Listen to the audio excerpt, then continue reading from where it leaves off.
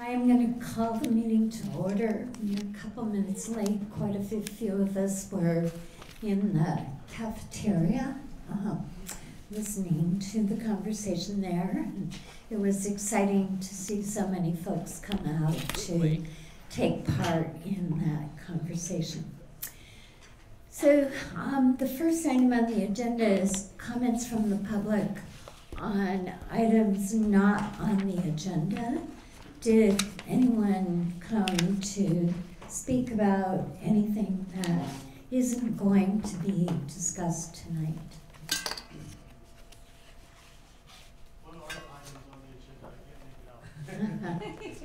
Why don't you tell me why you came to speak to?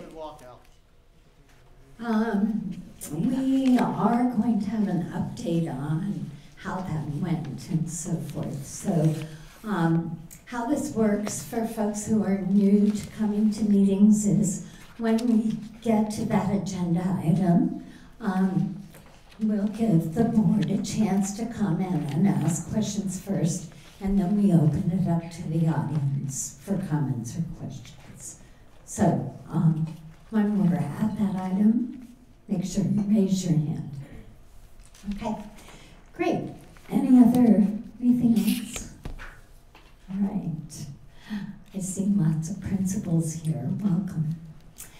Um, so let's move to the consent agenda. Does anybody need to pull anything from the consent agenda? I will move that we approve the consent agenda, including the school board meeting minutes of March 8th, 2018, and the part-time leave of absence, unpaid part-time leave of absence for Ashley Bry, the EHS Spanish teacher, and approval of warrants. Second. Okay, consent agendas don't have discussion, so all those in favor say aye. Aye. Opposed, no. Thank you.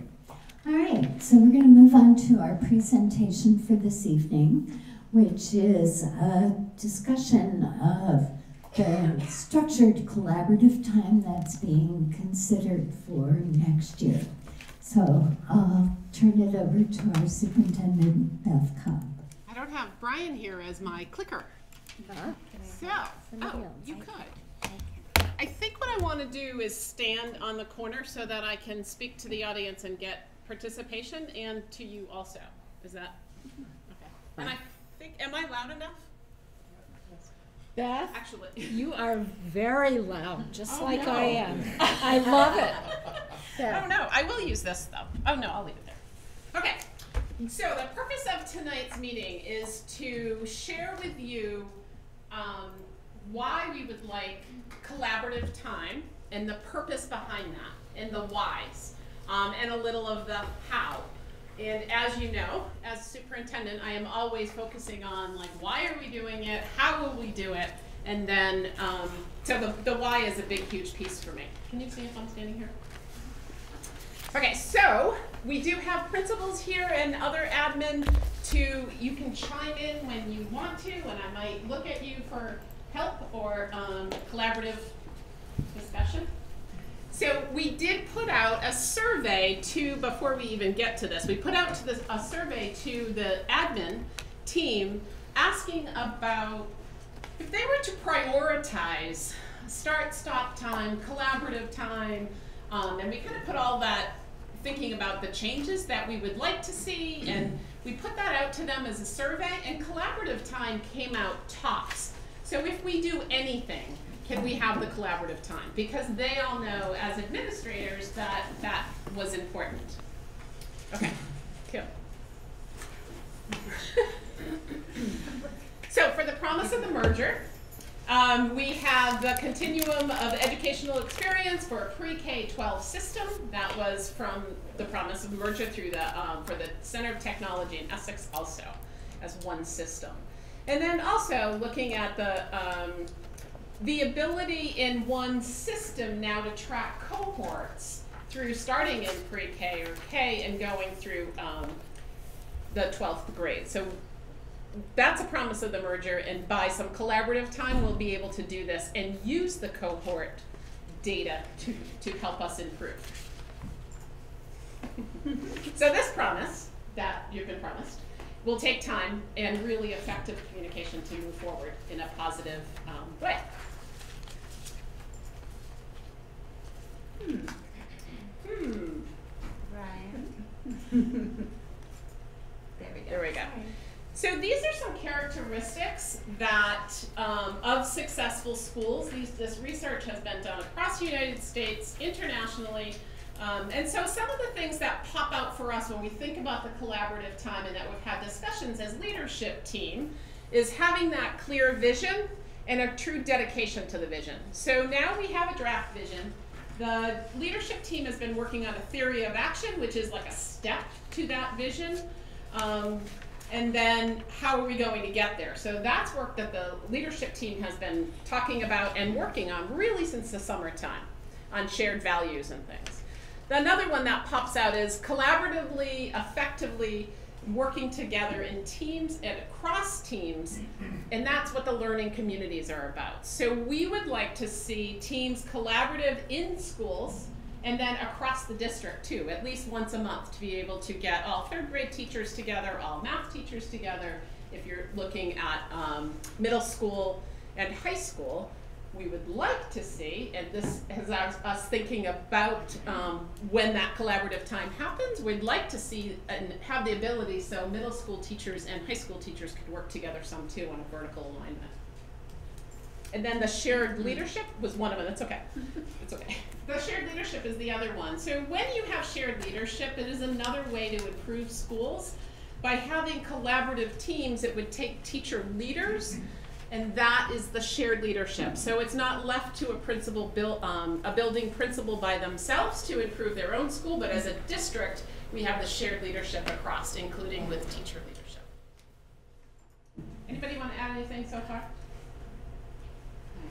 I'm sorry. That's the vision. You don't want that yet. That's I don't know what okay. I can click. You want me? You want, I can take the mouse over here. Well, I could, I think what happened was the, the um, cursor moved, and then when I clicked, it went to something else. You know what? Even the keyboard might be. Okay. Oh, that would be Yeah. better, right? Oh, now I have a calculator. I do like math. Come on. Do you want to do math right now? That Sorry about that, guys. So to have success for all, this is also what research says that when professional learning occurs within a system driven by high expectation, shared goals, professionalism, and peer accountability, which happens in collaborative teams, it is known that you are more accountable when you are accountable to your peers than someone even superior to you. Or, um, and that happens also with students. And the outcome is really about the deep change for students and all students. So if we have this commitment to professionalism and the time, and when I think about collaborative time, I think about it being real intentional, very clear goals that lead to our vision, to our action theory, um, is when the deep change for a system can really happen. And it's really about kids. So even though the teachers are having the collaborative time, but the change happens within the system and better for our students. Comments to that, anybody from the admin team?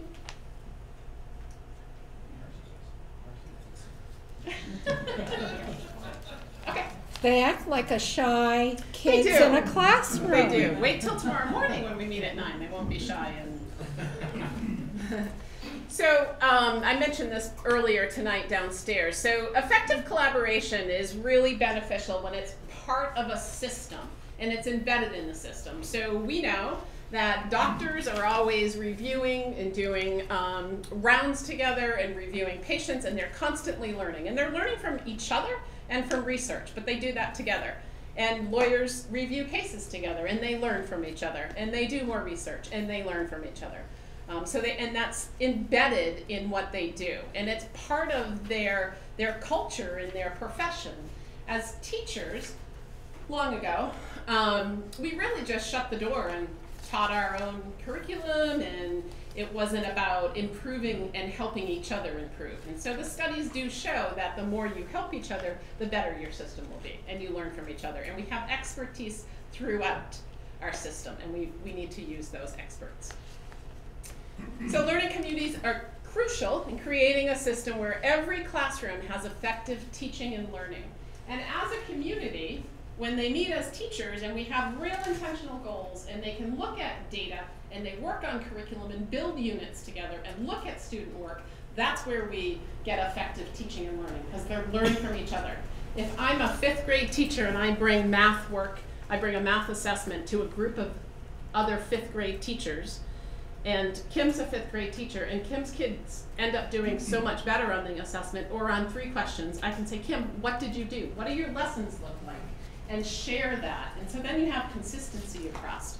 Um, it will also allow for us to have, we have somewhat consistent assessments now, but we haven't been able to look at that assessment results as a district.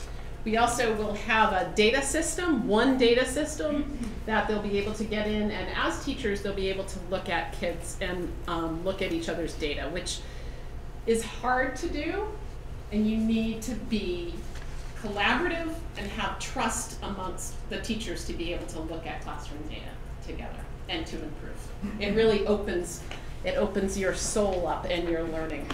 Um, so it's all about trust. So it's a collective responsibility.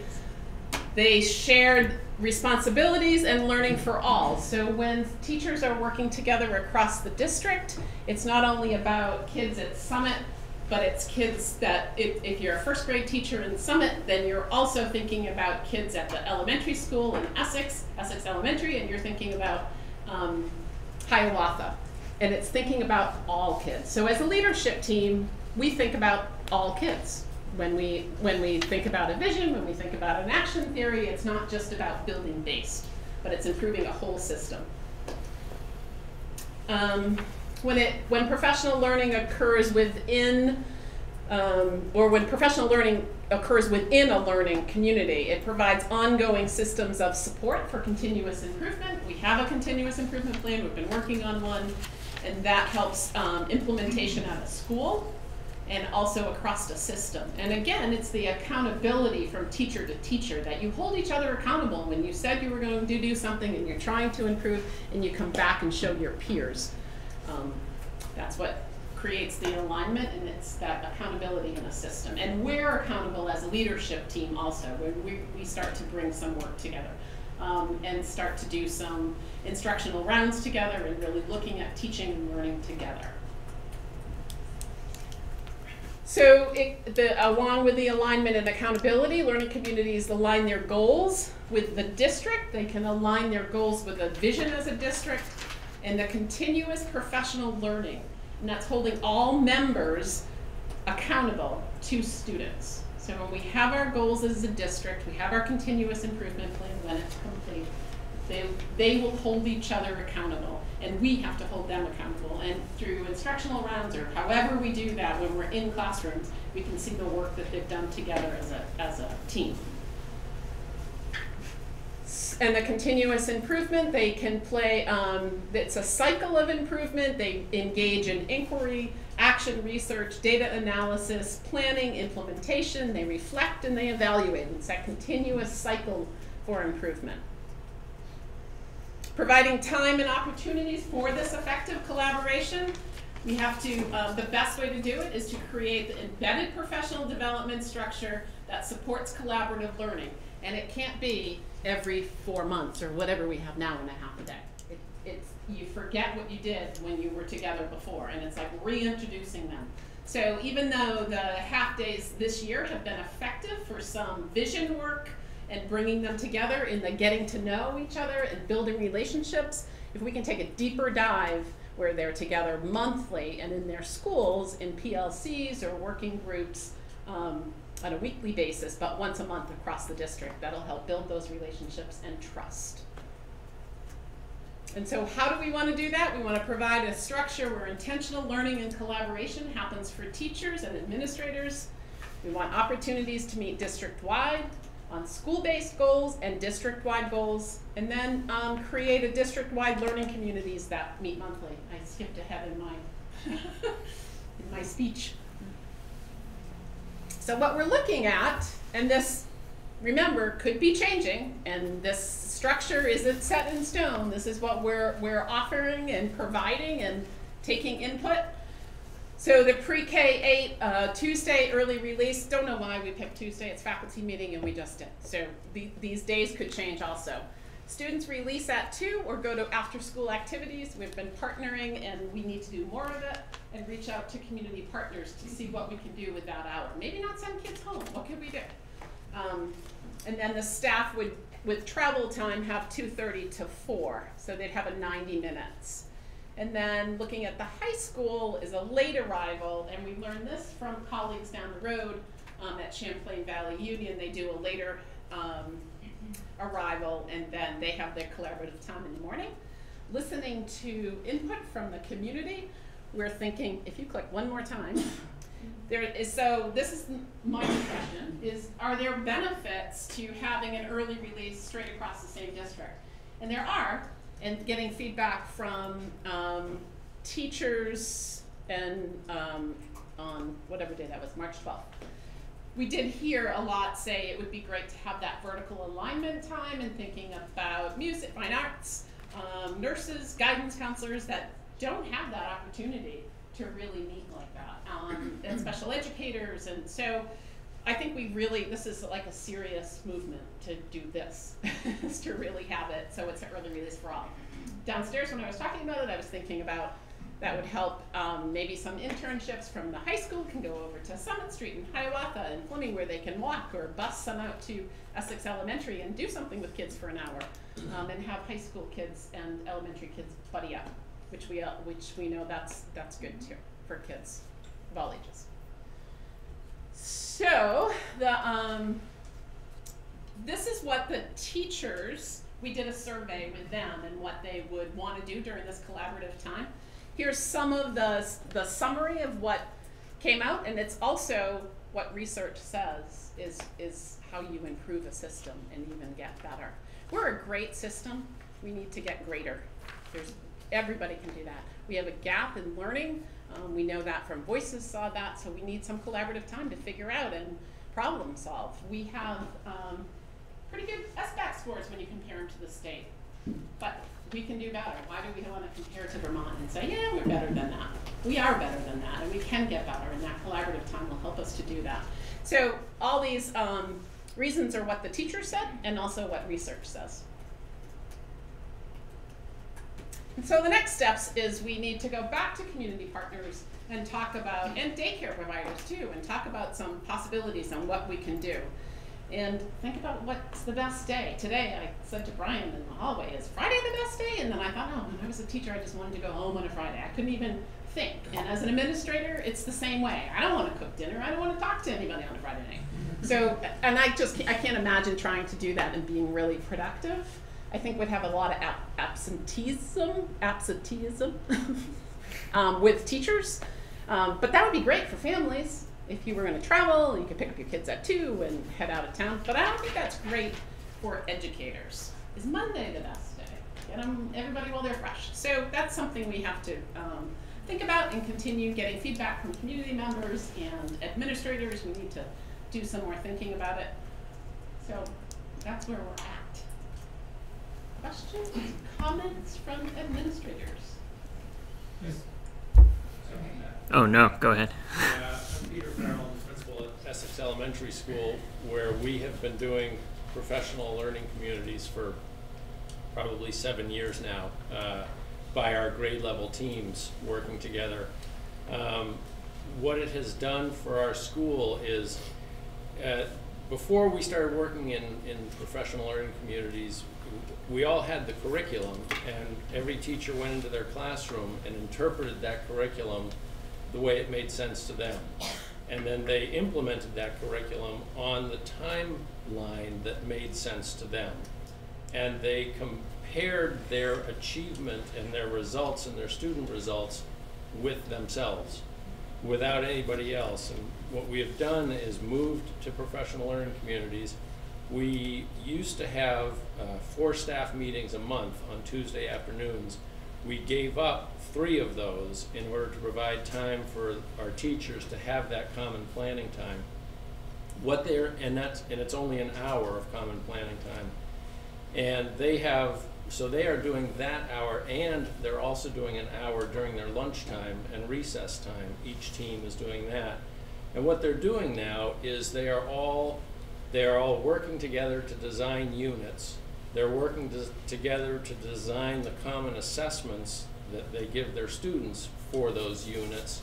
And then they're coming together and looking at those assessments. And just like Beth said, Kim, how did your students do that? And they're, so, so this creates, a, it's a, the learning cycle that we talked about. And they are, they are plumbing their own depth of knowledge uh, for professional development. When I think about a district coming together, and I think about how that coming together has been so amazingly effective for our teachers in aligning their practices, in aligning their curricula, in aligning their assessments and their learning.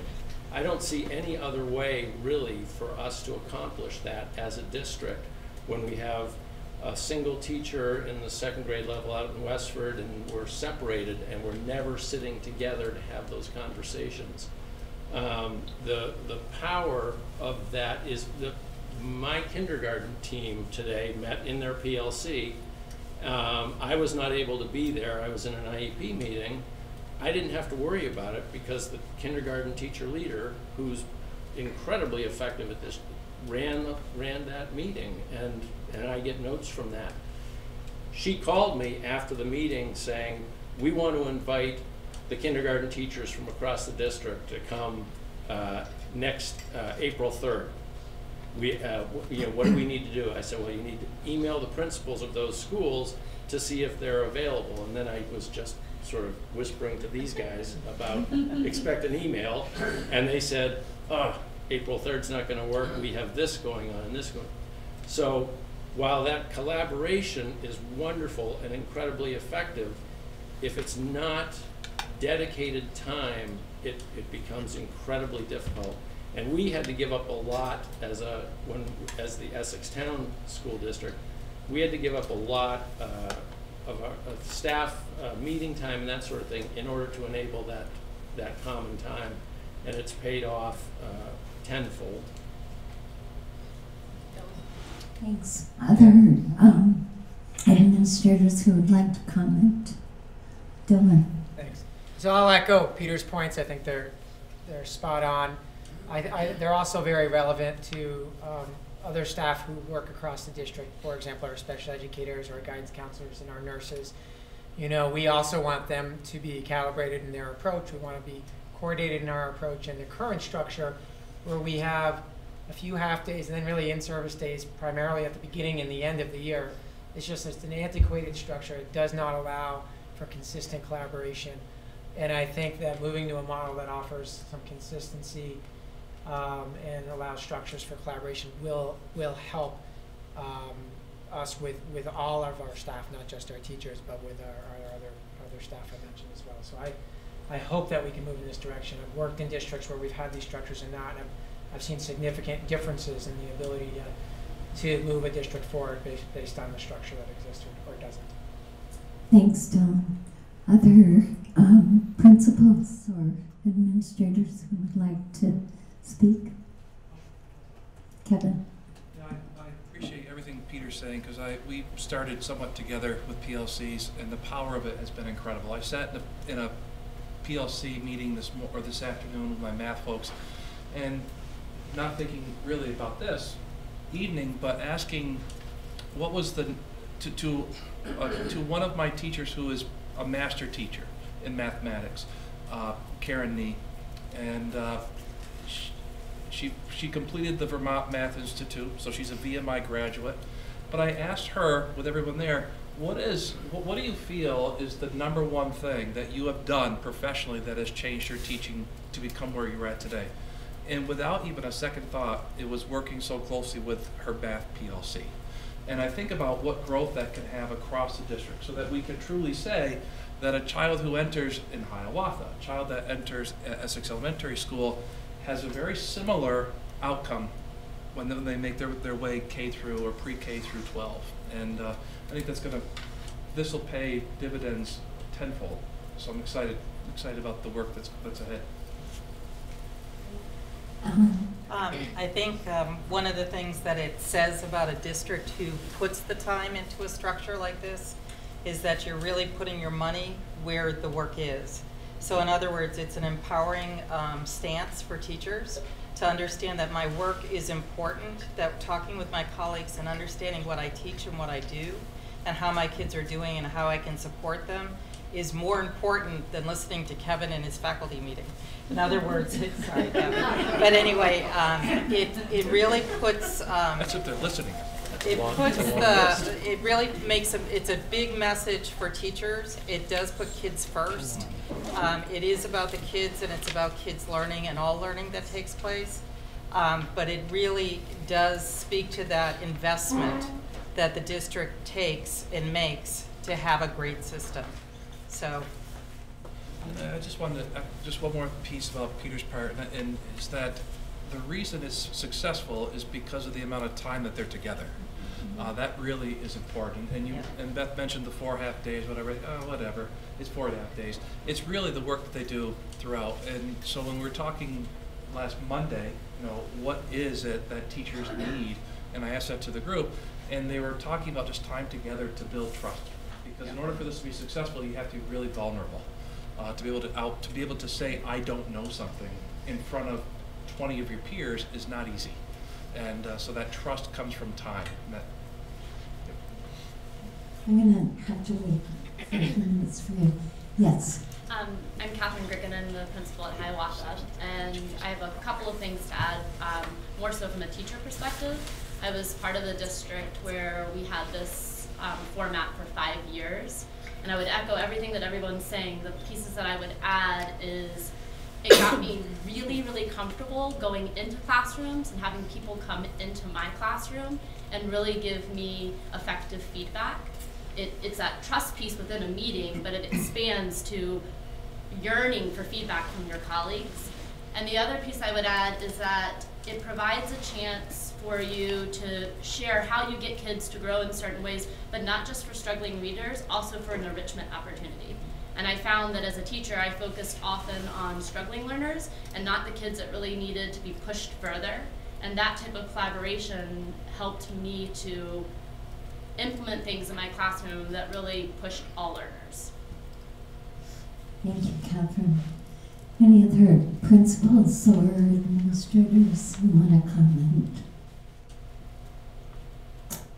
All right, I'll open it up to the board for questions and comments, and then I'll open it up to the audience. So Patrick? Um, maybe the principals would be best to answer this. Uh, how structured, like Peter, how structured is the time? Um, like when we have these meetings, you mentioned that you have a teacher leader. So assume that we implement this across the district. Uh, how do you find those teacher leaders? Do you get volunteers? Do you have people in mind? And then once we do have that, you know, for 90 minutes every week, um, you know, is there like, you know, uh, a schedule that they would follow, or is there some sort of implementation plan about what we're going to talk about the first week, the second week, the third week? Like, I just kind of want to get an idea of how it works. We had um, uh, carefully selected volunteers as our teacher leaders uh, initially. Um, It, there was a, a- a- there was a a big learning curve for everybody about what PLCs mean. Um, How do they function? How are they different from just a regular sort of staff meeting? Um, Our teacher leaders uh, went to workshops and conferences with the leadership team to learn more about facilitation, to learn about uh, the functioning of PLCs. Um, We, as a leadership team, had a lot of discussions about uh, loose, tight leadership. Here are the things that we're really tight about. These are the things that have to happen. Here's the, here's the sort of wiggle room. So I think initially, we were, um, we, we were, we placed trust in teachers to know what to discuss, but we followed up very intensely on what was discussed and what was the agenda and, you know, wh- who was participating in the agenda and all of, you know, I collected all formative assessments that were given. just to sort of get things moving, to get that ball rolling. Now I have a, a, a site where I, the agendas are posted by the, for the, the uh, PLCs, the notes, I can pop in, look at the notes, they can, or I'll be invited to PLCs. I try to keep my Tuesdays free so that I can go and visit with each of them at least, you know, at least for 20 minutes every Tuesday. Um, but they, at this point, with oversight, are essentially functioning themselves with teacher leaders uh, uh, designing agenda based on feedback from their, their cohorts. Awesome, great, thank you. Just want to add one thing to that as well. Oh. The, uh, is that we're, for Essex Town, we're, we're seven years in. We're actually on our, for my school, for Essex Middle School, we're on our second round of teacher leaders. So you're not, you- you aren't uh, forever the teacher leader. Is that we build capacity within. So uh, those, the, the same teacher leader, you know, Karen Me, I mentioned her earlier, she was the initial teacher leader. She took a lot of the bumps and bruises on how to become a PLC. Uh, and then Phil Young is now my teacher leader, even though she's still in there as part of it. And I think that's really an important piece is to continue building capacity, uh, just building those leaderships, but not just throwing them in there expecting to do it, but there was very intentional training. Yeah, I was going to add to that, that um, the other thing the principals do in the Essex schools is they meet weekly with their teacher leaders to talk to them about how the process is working for them and if they need help with anything or if they have a celebration that they want to share so that Kevin, Peter, and Wendy all know sort of the, the, the feel of the PLC and how it's going and how they can support them. We did a lot of training with the PLC teacher leaders. Um, each leader has been asked or was asked to be a leader for three years. So we wanted continuity, continuity across the process so that um, it wasn't, you know, you're in for a year and then somebody else new comes in. These are delicate conversations um, and they are relational. And so it becomes really important. And sometimes the leaders don't work. And they they notice that or feel that. And so then we problem solve and try to figure that out. But for the most part we've had really really good success. And i would say the teachers if you if we think about intentionality they are more intentional than we would ask them to be. They do more work than we ever said you had to do. Um, and they really value that time. Thanks, Sonia. Kim? Just having been there through it as a board member, it was pretty amazing to see the transformation. And as both a board member and parent, it felt as though it was a really tremendous opportunity to create equity in our system in terms of the experience and the shared expertise among educators. Um, it let you feel confident that um, if one teacher was especially good at a particular way of getting at things that was shared among their colleagues. And it was it was very dramatic to see that change over those years. And um, hearing unsolicited from teachers on it um, often. And some who maybe weren't so embracing of the idea initially it the profound impact they feel it's had on their ability to um, learn with their kids and with their colleagues on behalf of kids um, spoke volumes. So it was really awesome to see. Okay. Other questions or comments from board members? Keith? And then Brenda. I just have a minor detail question regarding the day of the week issue. My understanding when we started this conversation was that Tuesdays were selected for early release because the faculty meeting on that day meant that in the teacher's contract, it was specified that they stayed longer on that day. Am I mistaken about that? And the contract is flexible about what I don't think day? it specifies the day, Okay, the time that's there. gotcha. Cool, is that correct? That's what I'm recalling. what my All recall of is. us, as we're sitting here. I think that's one day. That it's Brenda? an allotted time. Um, so I'm, I'm curious, um, so currently with the PLPs and, um, in what's imagined as more district-wide professional learning and, and consultation, how do we measure the impact of that work? Do we see it in student outcomes? Do we see it in employee satisfaction? Like where where how do you measure the success of of this model? That's a great question. And I would say yes to both of those. And also, when our leadership team has our action plan, our theory of action, which we're working on, we will set strategies and then we will set, okay, so how are we going to evaluate those strategies? Um, and I see us in the future doing a lot of walkthroughs together and, and getting that anecdotal um, information also. But yes, and student outcomes definitely. And that alignment across the um, district would be is, is powerful. But in the in the schools that have adopted PLPs already and have been using Yeah. them for a number of years, have we seen improved student performance in those schools? I can answer that. Are you talking about PLCs or PLPs? I'm sorry, PLPs. Sorry. PLCs, right? Professional learning community. Oh, PLCs. sorry. That's what I assumed. It's hard to keep them. Uh, So I can, I can say that, we look at class, we look at team data, okay? And over the years, I can say that there are certain teams that, that perform better than other teams, okay? It's just, it's just the nature of it. And I can also say that when the teams have begun working together, those become closer. It doesn't, they don't shrink, but rather the team that wasn't performing, say as well, their instruction has increased and they have better performing. They really do. It's, it's a remarkable thing.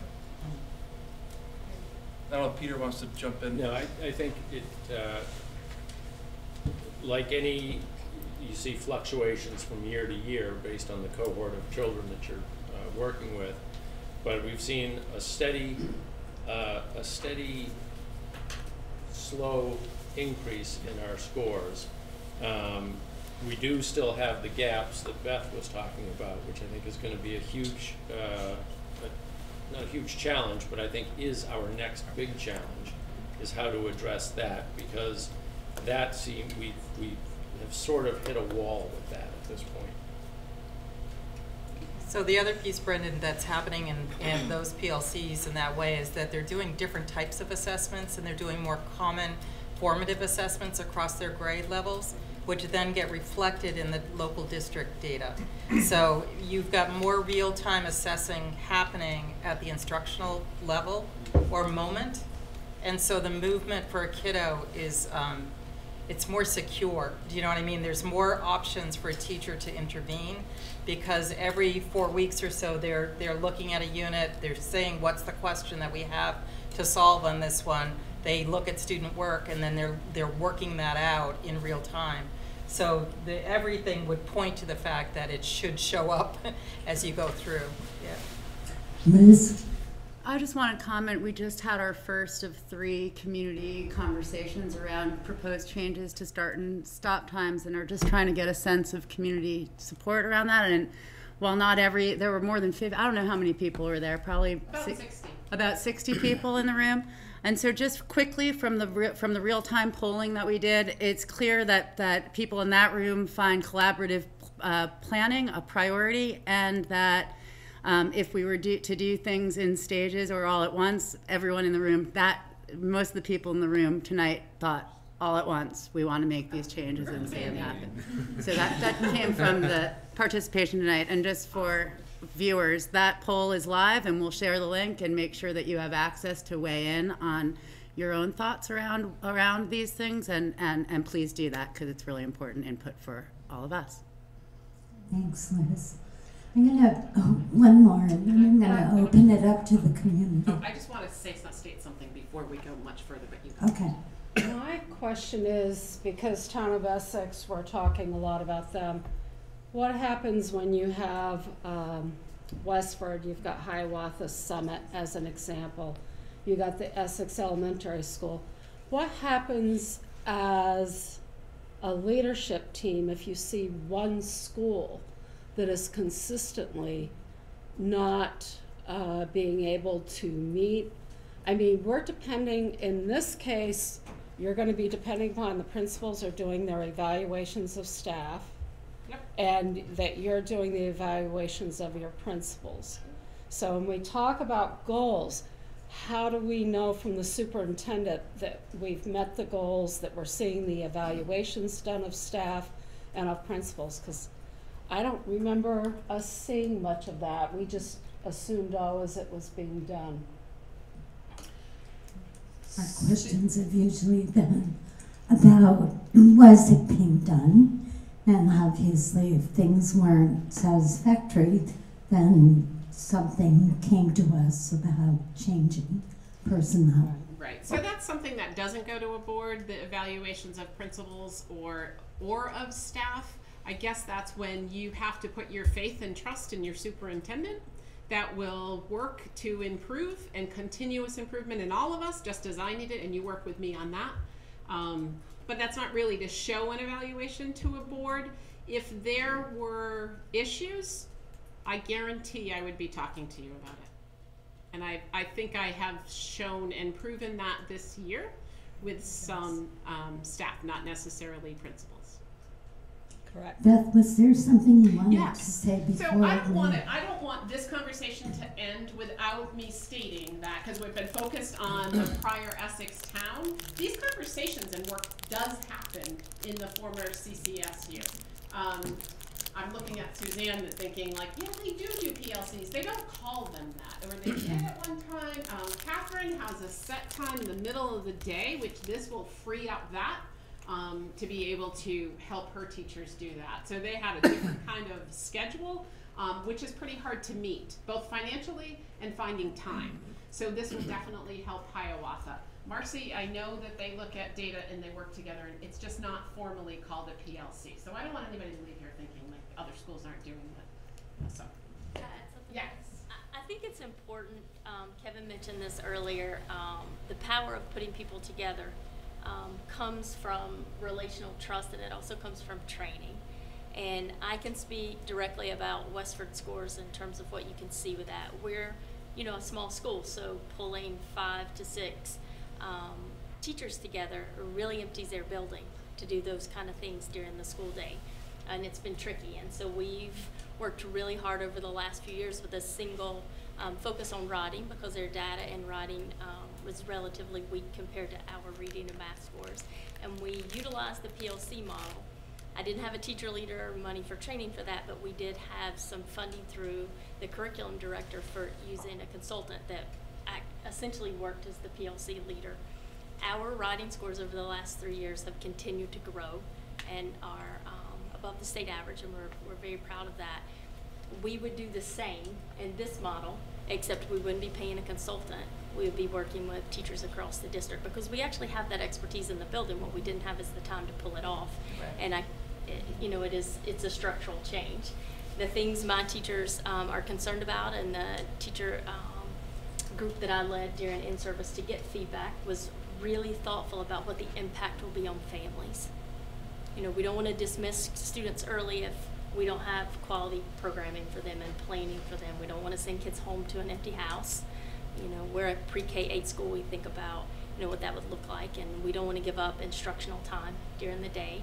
And so we've already started working on some scheduling ideas and trying to partner. I know Brian has reached out already with other organizations, and Catherine and Dylan and I came from a, a different system in which this worked pretty well, but they had a solid infrastructure with busing and those kind of things. So I, I trust that if this is the work and the focus that we want to do, that we'll do it well, and that that will mean moving pretty quickly on all the details about how we communicate that with families and what kinds of services we can provide that are affordable and or subsidized in some way so that kids get the benefit of both ends. They get the benefit of really quality teaching that only continues to get better and they have something to do during that time in which we're all working that is appropriate and not poorly staffed.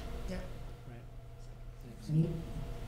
Um, any community members want to comment or ask a question? Yes. I just want to say I'm a parent in the in the district, but I'm also a speech pathologist in another school district. So, um, sort of what Dylan was saying, I'm the only speech pathologist in the high school that I work in.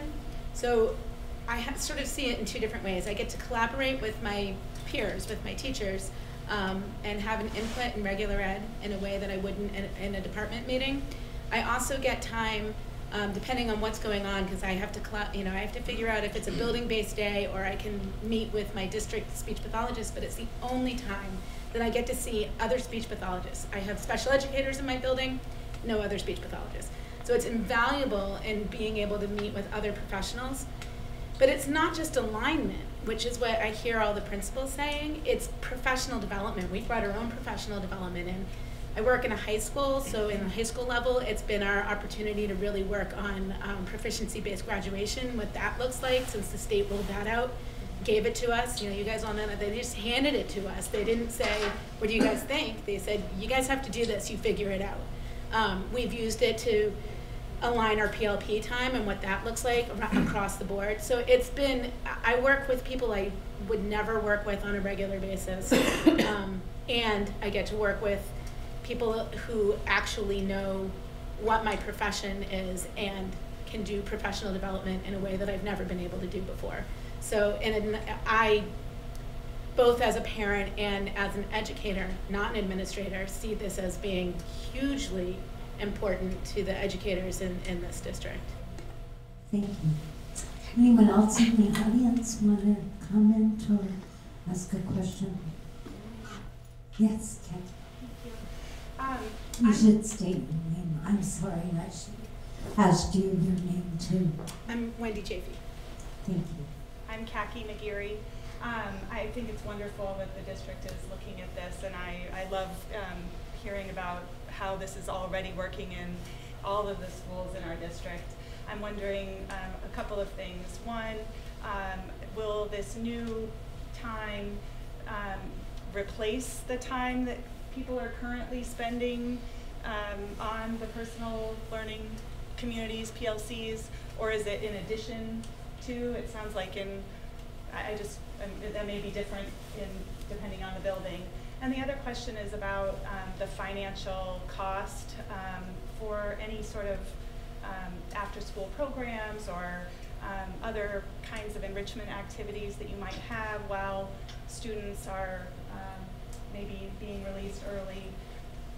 Has the dic- district set aside funds um, to help pay for those things? Uh, Because I feel that there should be no um, financial impact to families um, for this change. I feel that that's something that the district should invest in. So we have talked with some community partners about, right now, they, um, lease our building. Could we work out a deal where they give the free daycare and we take away that lease? The lease isn't that much, but it would cover that piece. I know, and that same community partner does that, um, in Champlain Valley School District.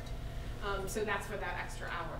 There's other things, um, my daughter works in that district and she runs an after-school, um, a homework club during that time. So it's an hour that they didn't used to have, that's run, um, by a para-educator who's educated. Um, so there's opportunities like that that we have to look at. I think once we have this structure, then the opportunities will even, um, bubble up more and we can really think about it. And our kids in the building is the most important thing. That's why we're going for this, but we also need to take care of in that time. I would love to see n- nobody go home at three, I mean at two. We just go overnight, have boarding schools. And can you ask, answer Kaki's first question about what happens to the oh. PLC time That's something that that we haven't discussed yet, and I was, I was thinking that, we really haven't talked about that as a leadership team.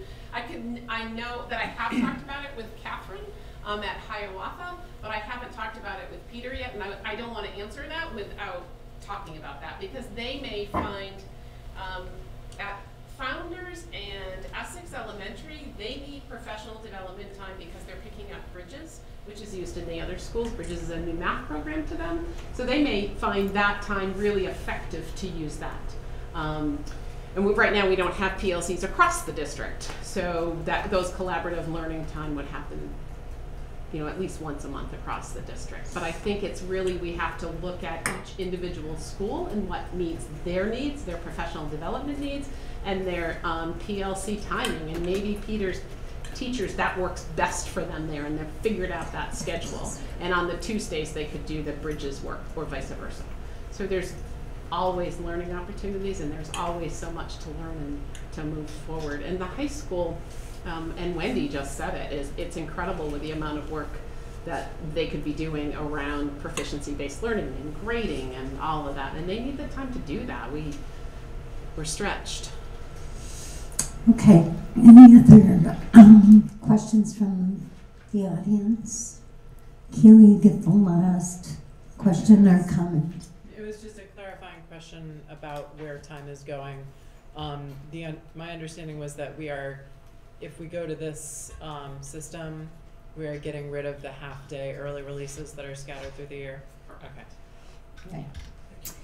Okay, thank you, everyone. Um, and I hope you're gonna stay for a little bit more, but if the principals have to leave, it's great to have you here. All right, so we're gonna move on now to the vision. And Beth, who is leading Oh, this? jeez. Yeah. Brian, um, it is, yeah. Yeah. Brian's back to you. So this is our draft vision in a video.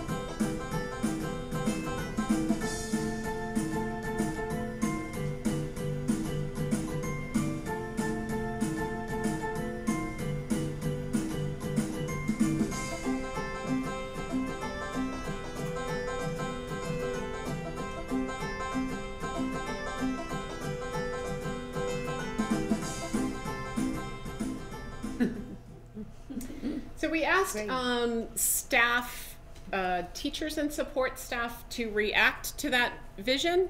Um, last Monday, they worked, each um, administrator had a group that they worked with on a um, task, and then they entered data and gave us feedback. Um, the feedback was mostly positive, and if we think about grade level, it has to be, the vision has to stretch pre-K to 12. So some of the upper high school said it's pre-K-ish, but if you really take out and just look at the words and not a video, which I think was confusing, um, the video is not our vision. It's the words within the vision. So overall, it was great feedback. We had, I can't even remember how many responses now. We had 242 responses in that um, element during that half day. And a lot of them did that as a group, so they entered the data as 15 people sitting around. So there's a lot of responses. And we had over 76% of those responding that that um, graded the vision to be a three or a four in a scale of four as inspiring. Um, and only eight, uh, under nine percent that were at a one, so needing some more time with it or Yeah. even to understand it or see how it was. The vision also needs to flex and stretch, not only for just our instructional side, but also all the operations side, within our other support staff, within our community as a whole. So we see the vision to be uh, sort of multi-dynamic and flexible that way. And tomorrow night, the arts night, we would have been able to give you feedback, but it was delayed because of the snow day. So Voices for Education will be there with a table tomorrow night, and it's on a big banner. People will be have the opportunity to write on it, draw on it, whatever you want with markers. Um, there'll be some laptops there where you can view the video and get on and give um, feedback right away. And there, you can also do that on your cell phone. So there'll be instructions on the table with voices, so they can. So we get community feedback around it, and families and kids. So students, we were going to take it to advisories. We're reworking that, and I'm working. Um, had a conversation with Jamal last night about how can we do that, and maybe it's um, some kids and Brian and I going to around to advisories to get feedback. But we have a little more time before it comes back to you as a final. Yeah, I think our, our timeline is May. Right. For the board to approve the vision. Marla? I just wanted to say the reason I like a simple, easily mm-hmm. remembered vision is years ago I went to a national conference And when I met a couple of superintendents, they handed me their business card. And on the back of the business card was their vision. So I came back, Mike DeWeese was the superintendent at that time. We as boards worked really hard. And it was so wordy. I was like, I was just floored because what was on the back of that card was exactly all the words we had used, but done very simply. So I thought that was very professional. You could have a principal or a superintendent or your staff. You have your business cards, here you go. I just thought, And the words will come in our belief statements and values around that, and also in our path on how we get to that vision. That's where more words will come in. But this vision, um, right now, is a draft vision, is very easy to remember. Um, and it, when I see it or hear it, I really think about a lot of kids' voice in it. Um, so that's important. Questions, comments? I, I really like the way you're rolling this out. Any questions or comments from the audience? Okay. Let's move on to um, update and review of the National School Walkout. Yeah, um, Nick couldn't come tonight, so that's too bad. Do, Do you there, but. I, Brian is. Yeah. Um, I, uh, I attended, um, was, spent my time in one of the parking lots just observing and kind of monitoring some of the traffic inflow and outflow.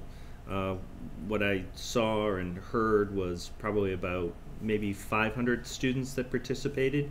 I wasn't in the building, so I would imagine that um, that was done. All our staff remained in classrooms, and kids that didn't choose or opt to do it were uh, were invited to just stay there.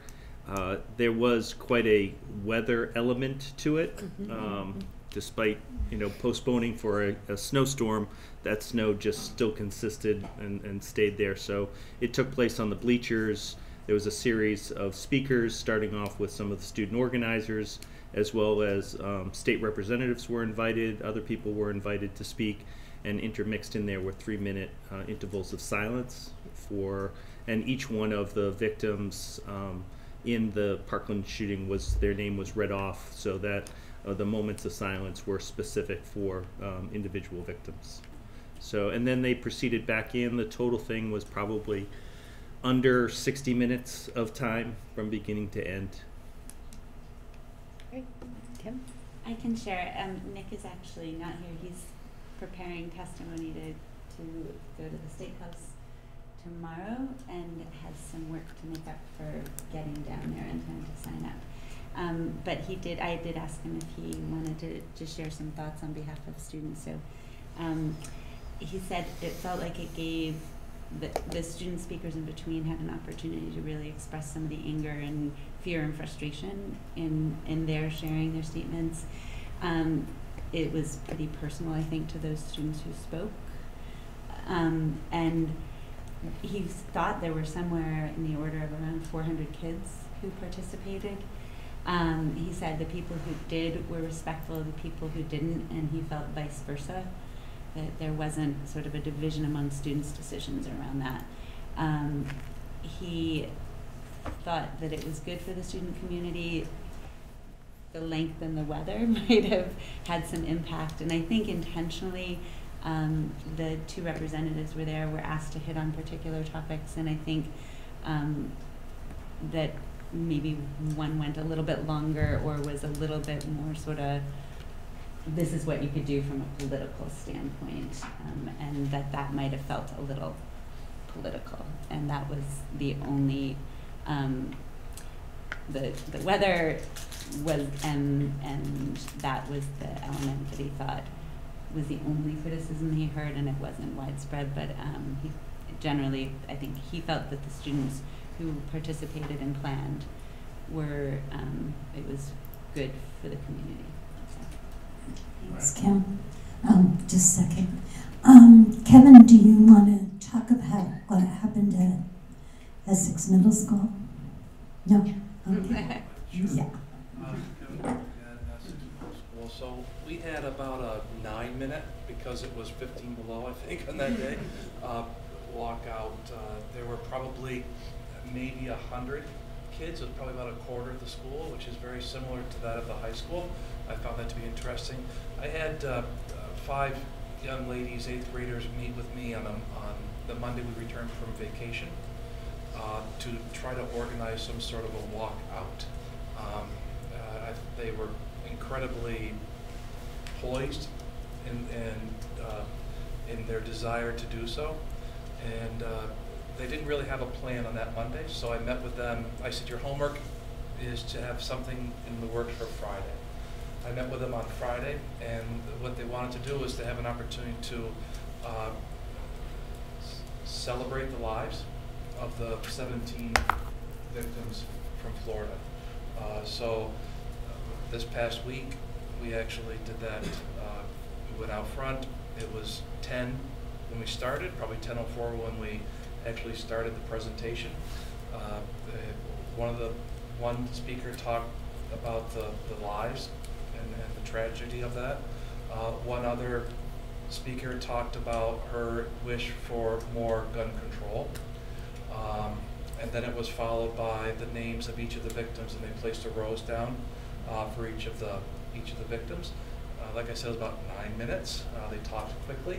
We were supposed to do a moment of silence in between, but they their hands were pink. Um, and uh, but I think that the, it was as I think it was as well as a middle school and very appropriate for a middle school uh, setting. So, yeah, thanks. Thank you, Kevin. Questions and comments from board members, Hunter? Um, I'd like to acknowledge the uh, anonymous students that showed up on a Wednesday and erected um, 17 snowmen. I'm not sure if you're aware of that or not, but I thought that was uh, Actually, interesting. when I came to the Technical Center Honor Society ceremony, they, they were still out working on them. Okay. Yeah, it's great. Is that here at the high school? It was at the high school. uh, Yeah, the- the it's snow- great. They're still out there. On, Yeah. on the snow It was day. actually Up there. teachers It that was started teachers, that. yeah. Yeah. Nice, nice. On the snow day, they were here building snowmen. Nice. Okay, any other questions or comments from board members? Diane? Um, I, I, I attended in the same parking lot with Brian. Um, and, uh, great minds think alike. Um, the, uh, I thought the students did an excellent job. I'd like to see if the follow through from the invitation from our house reps is, goes with it, because it, it sounded like the speakers that were that day, um, the student speakers that day, um, did have the feeling that they were looking at next steps. And I guess I'd like to encourage them to take the next steps of this civil activity um, and to follow through. I read lots of comments from parents saying that this was not a productive activity for the student body. And quite frankly, I think this was a very productive activity for students to learn about how their civil rights and their civil responsibilities and how what you have to do to be a citizen. I thought it was an excellent example, and I heartily um, support the student body in continuing on. Thanks, Diane. Brendan? Yeah, I just wanted to express my appreciation for um, school leaders and district uh, leaders in supporting the students to um, have as uh, productive productive as an experience while also not disrupting students who chose not to participate. Um, I thought it was a really fine line that, that you walked, and I thought it was really well balanced. So I just wanted to thank you for um, navigating a, a tricky situation, um, but also giving students um, an opportunity to express themselves. Whereas I'm sure we've heard other districts where the the um, reaction and response from school administration was quite different. So thank you. Yes. Yeah, I was going to say a- very similar thing about the support from the administration and the comments about, and the direction that the administration is moving around, really supporting student-led initiatives. Um, and if it comes from the student body, it's going to be it, the, it, it it's likely to get support if it's if the topic is generated. And I really appreciate that approach to it. The challenge is the younger kids who can't organize that way and still want to have a voice. And middle school is middle learners, but what about the pre-K? And and this conversation has also come up in the community. How do we support um, this district-wide when and not as just the older kids who have the strength and the capacity to organize and and know uh, more what they want and what kind of support they need. So it's just something for us to think about as these rise. We've heard a lot of comments about what about you know what about my kid at Essex Elementary and and how do I help them un- understand this these issues. So I think it's important for us to remember that it's pre-K through 12 where these conversations are taking place and the support is needed. I, mm-hmm. I echo what Diane has said about next steps, and I think of that because of Nick being our student representative. It was very powerful, the students, the fear that they have uh, really hits you. And I've told some younger parents at work that I work with, I'm probably older than most. Martha might be there with me. Uh, when we went through the Vietnam War, I was in high school. Drugs came into Waitsfield and Harwood, and it was turmoil. We had a very wise principal back then, and he allowed for sit ins in the office. And I can remember we were torn. You had you either believed in the war or you were against it. My mother was for it, my father was against it. It was so much turmoil that after I heard Nick's letter, I got to thinking there is more that probably as a board or as schools or whatever, that fear is there and it's very legitimate. And then you get the school shooting, another one today. So, I don't know. It's a hard time. Any other questions or comments from board members? Okay, from the audience, I know you came for this topic. Right, yeah, my name is Earl Barber. I have had three children complete high school here, and I've got another child that's in middle school, so most of my focus will be on what happened at Essex Middle School. Uh, that said, it's interesting to find out what's been going on with these other schools, and, you know, I, I don't have a problem with the True Memorial, and I don't have a problem with the True Walkout, but that's not what this was. Okay, calling it student-led is a misnomer, I think. Okay, this was, no matter how you want to spin this, this was connected to a political group, Women's March. I had a teacher send me an email saying, hey, there's going to be a group of students, address your children in homeroom and to help about what's happening on the walkout. Here's the link so you can get further information. That link went straight to a Women's March uh, website. Okay, and it is for gun gun control. Okay, whatever you want to do with gun control, that's not really the issue. What what bothers me the most about all of this was that a political agenda got into the school and was presented. It doesn't matter if it's student led. Okay, it got into the school, it was presented to a captive audience. Okay, there may have been children there, students there, who don't want to hear this, can't comprehend this. Okay, that's, they, they're a captive audience. Now, what happens when you let one political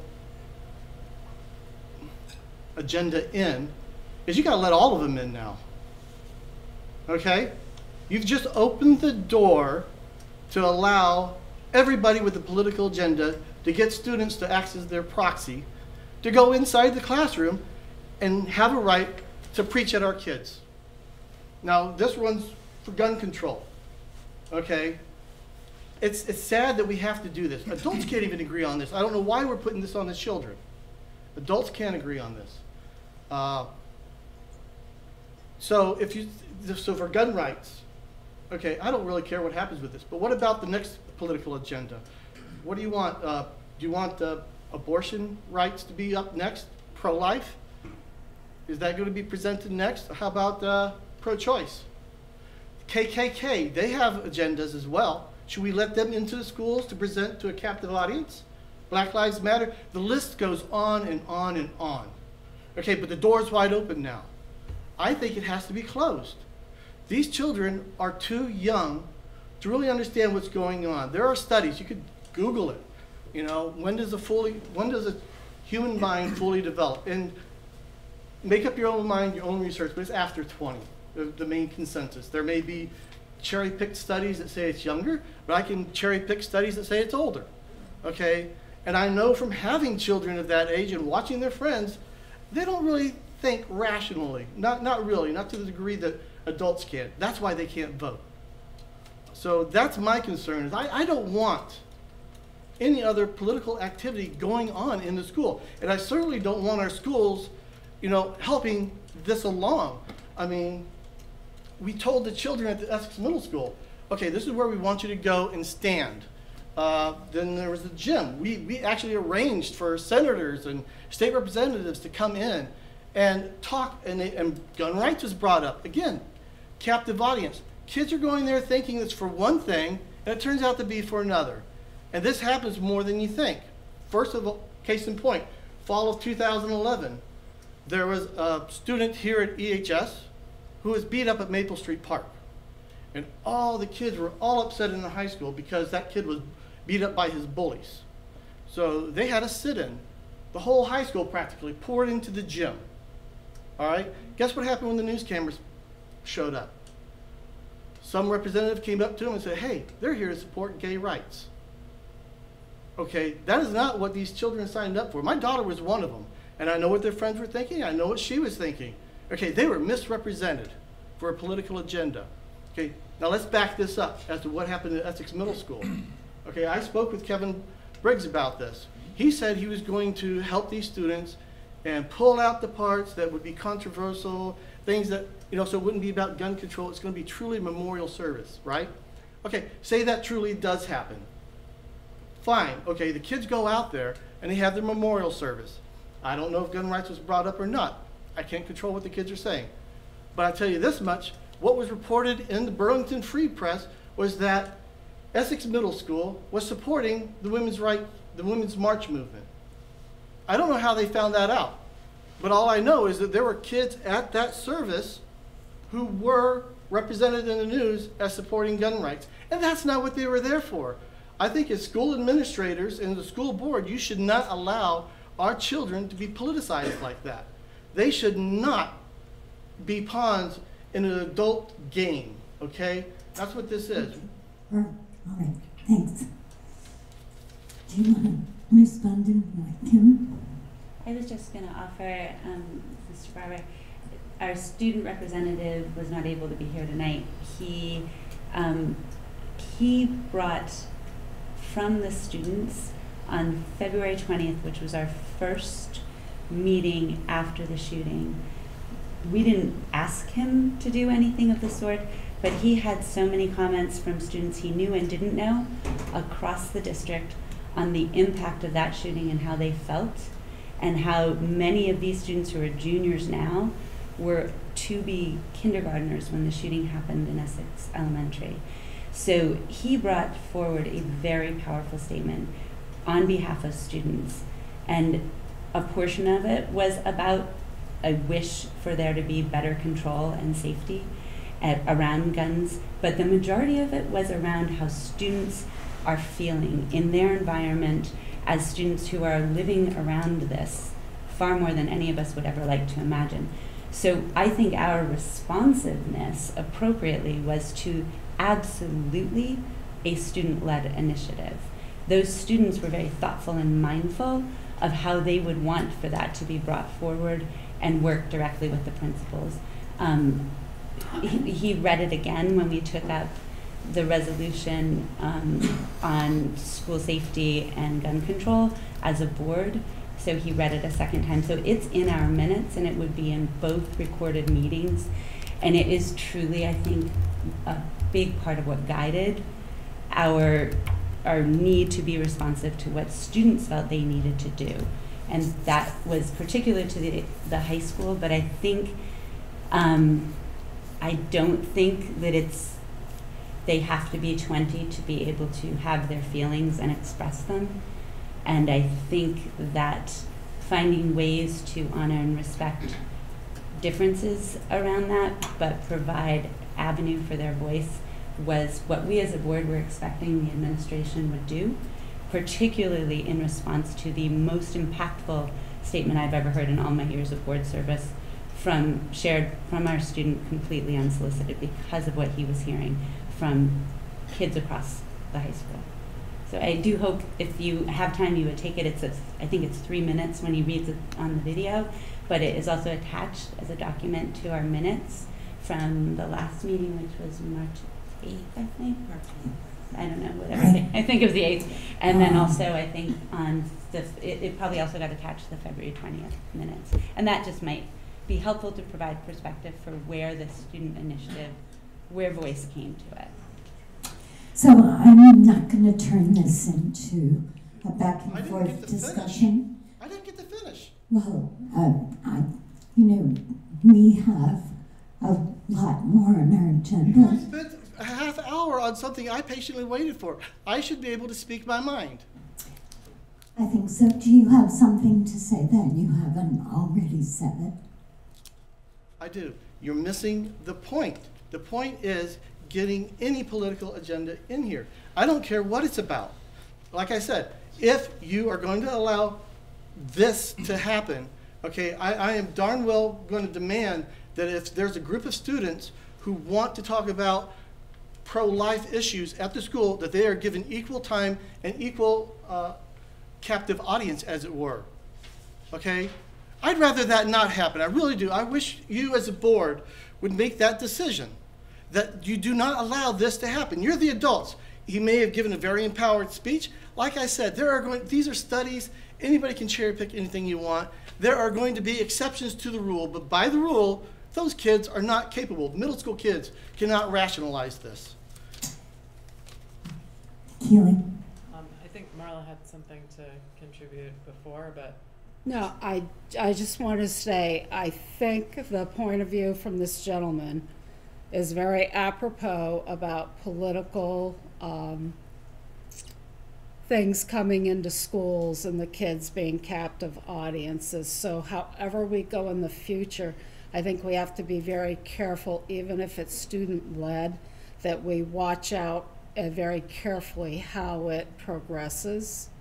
Um, because I think Kim even alluded that Nick had mentioned that there was a political piece that did happen. I think, I don't, I don't want to misrepresent it, it was that both representatives were asked to respond to something particular that the students who were organizing asked, and I think, I think Lori Houghton was asked to say, what, what are other things that students can do?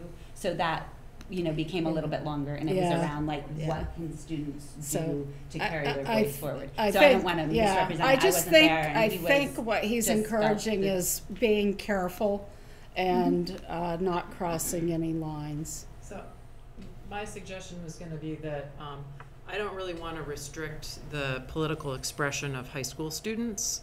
Um, but I do think that you have a point in regards to transparency.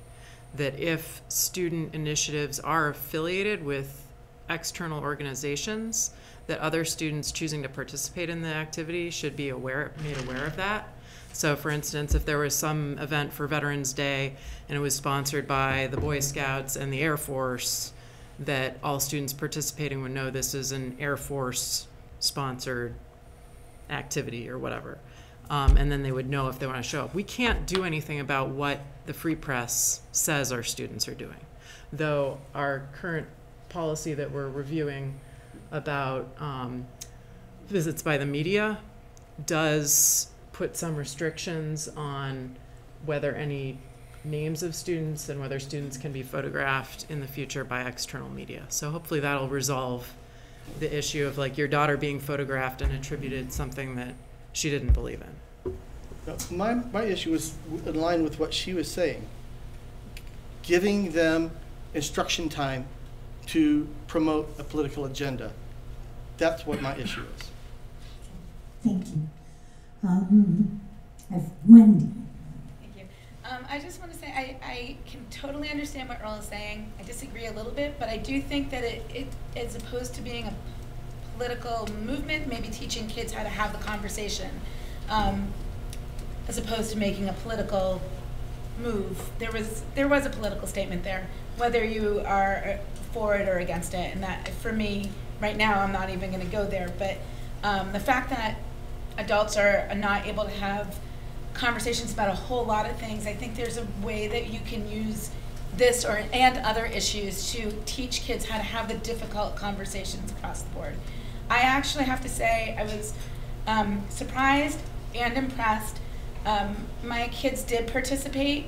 There were comments made to them by their friends about them participating because they were their friends weren't participating, and then they went on. So they had some, you know, there was, you know, some derogatory comments, which I was kind of surprised. But then they were like, okay, you know, you believe that, and I believe that, and we're going to move on. And that, I think, is bigger than some of our adults. So teaching, um, teaching kids how to have that conversation and how to disagree respectfully, I don't think is mismanaged.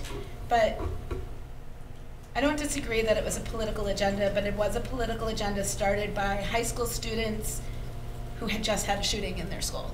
And then there was a movement for other students who said, yeah, and joined in. So I think I think there is a place to have to teach them how to have the conversations because I don't think adults really know how to have those conversations well. And I think it's too bad in some ways that it did get connected to the Women's March because I really do believe that from the beginning this was a student led initiative out of Parkland. Khaki. Uh, as a parent who cried on that day, you know, I really appreciated the opportunity and I guess the, the space for kids to be able to express their feelings. Um, I, I totally understand what you are saying and I respect it. Um, I, I just, I struggle with how do you, how do you give that space um, to kids and not turn it into a political debate. And so I, I don't know where the what the answer is, but I, I hear what you're saying. I do just want to say that as someone with a student at the middle school, um, I didn't get. I got one communication about the, this lockout, whatever memorial was happening. I read that it was not. It was from Kevin.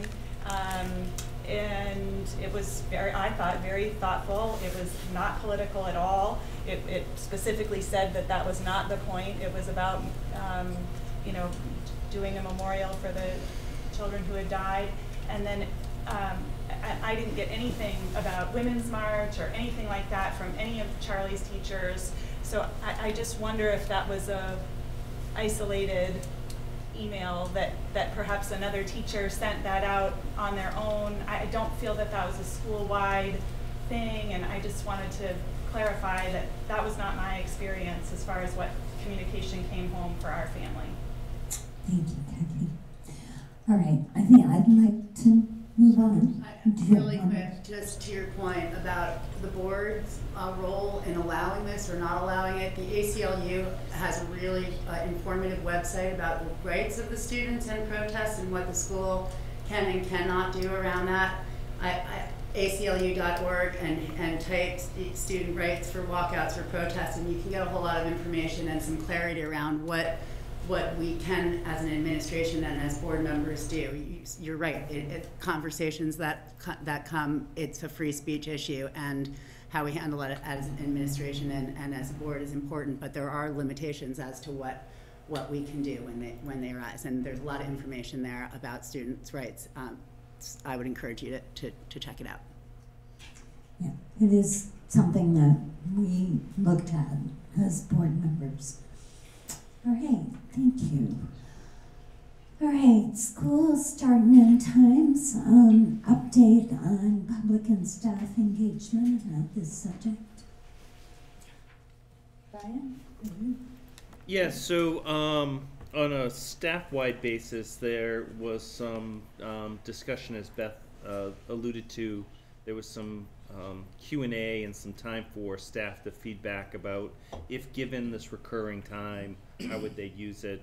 Uh, there has been um, a number of different opportunities for people to weigh in, but this evening we started to establish a new route. And Liz, do you want to kind of key off of our experience? Yeah, I, I thought it was great, and the feedback that I heard from the people in the room was uh, really appreciating this this way of going about as uh, opening it up as a question, and really, as Brian put it, being vulnerable up there to say we don't have the answers, and I feel like that can be scary.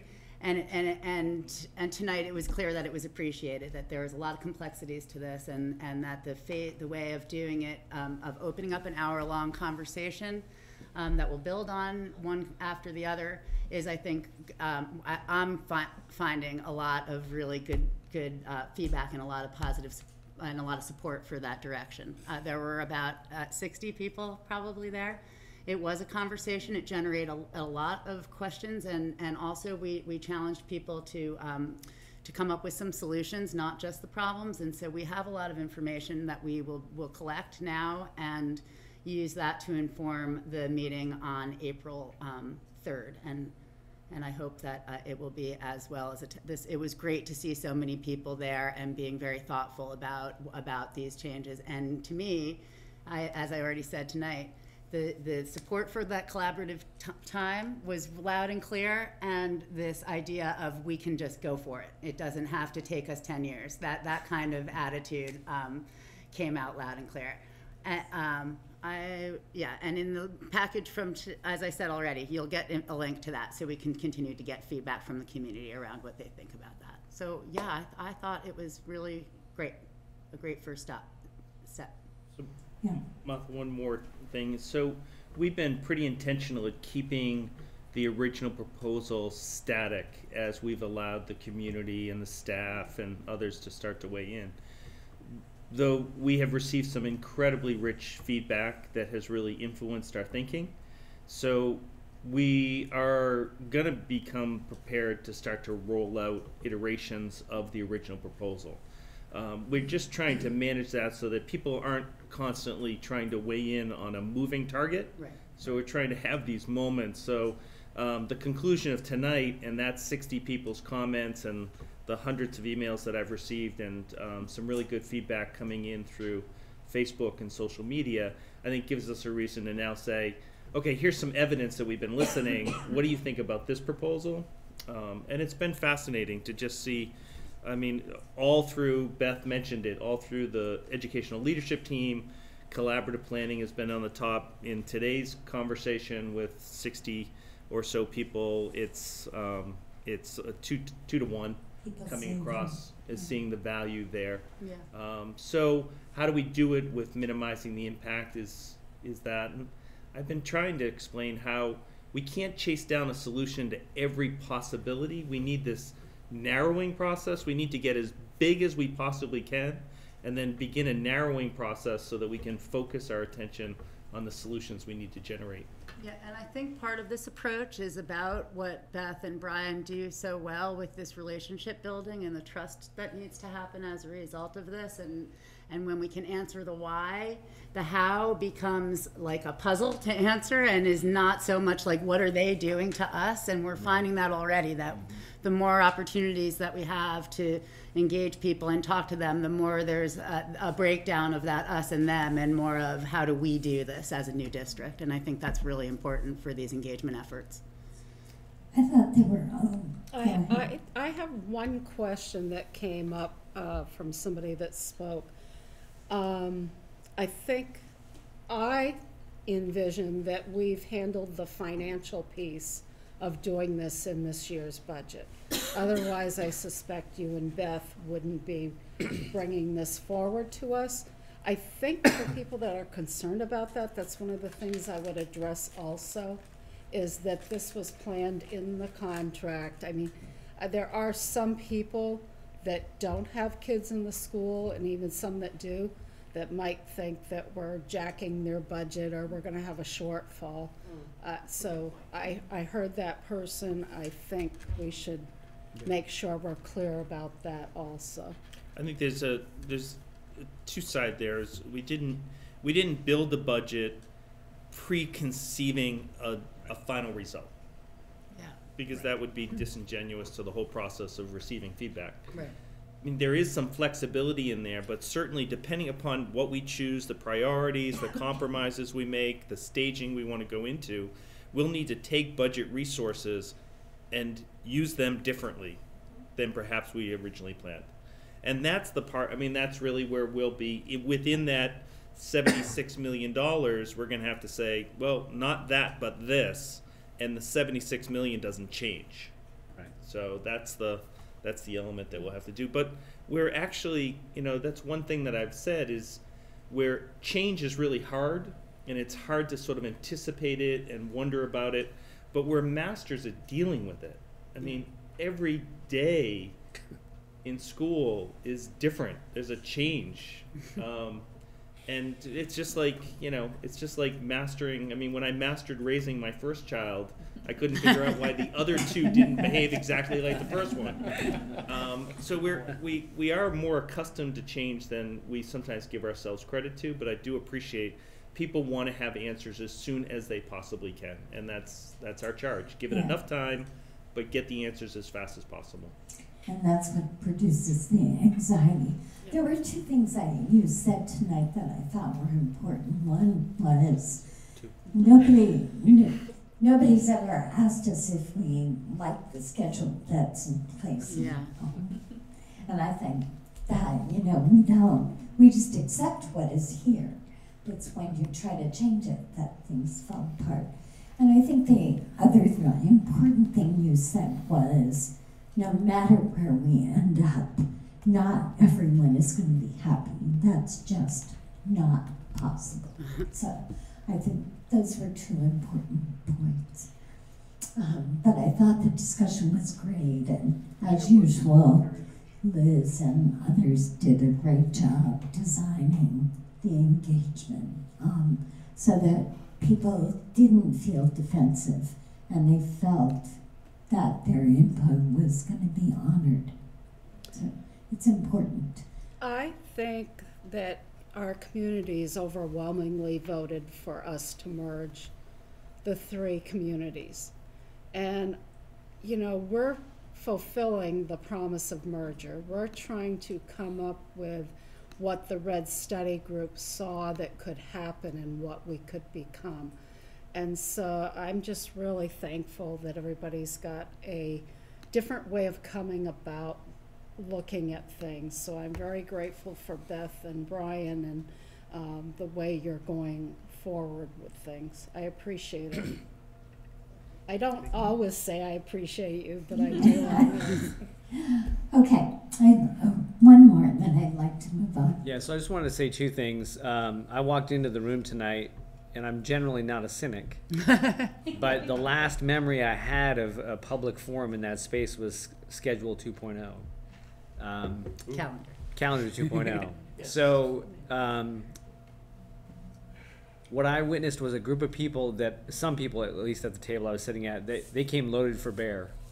And what I thought was really ingenious in how you approached it is that they almost immediately became disarmed and let and realized that this wasn't going to be a fight and something wasn't going to be imposed on them. And it was it turned into like almost a, a friend it was a friendly chat. With people talking you know even the most critical person at our table was offering oh well you know this is really this is actually a benefit we should add so it was really great i really commend the way that you handled the um, the, the event and i encourage um, I, I look forward to the next few the other thing i wanted to say though is that as we want to be respectful and understand the many many challenges and complaints that people will have, I would just encourage you all to, to keep in mind why you're trying to make this change happen and to not let that get watered down. Yeah. So while I think it's really important to take into consideration the actual pain and suffering that it may cause for some people, if you water it down to the point where it doesn't have the impact that you want it to have, then what was it all for? So, uh, but anyway, great, great first effort tonight, and I look forward to the others. Thank you. Thanks, Thanks, Ben. All right, let's move on to our policies for second reading. Um, so we looked at them at first reading last time. We asked for uh, some minor changes. Are there any comments you want to make, Diane, before we? The changes requested are there. Um, I ask for your approval for,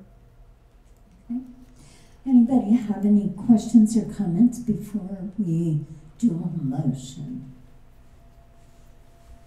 Okay, then I'll entertain a motion to approve policies A twenty-two, E thirty-two, A twenty-one, C twenty-five, and B twenty-two at second reading. I'll make such a motion. Thank you. Is there any discussion? All those in favor say aye. Aye. Opposed, say nay.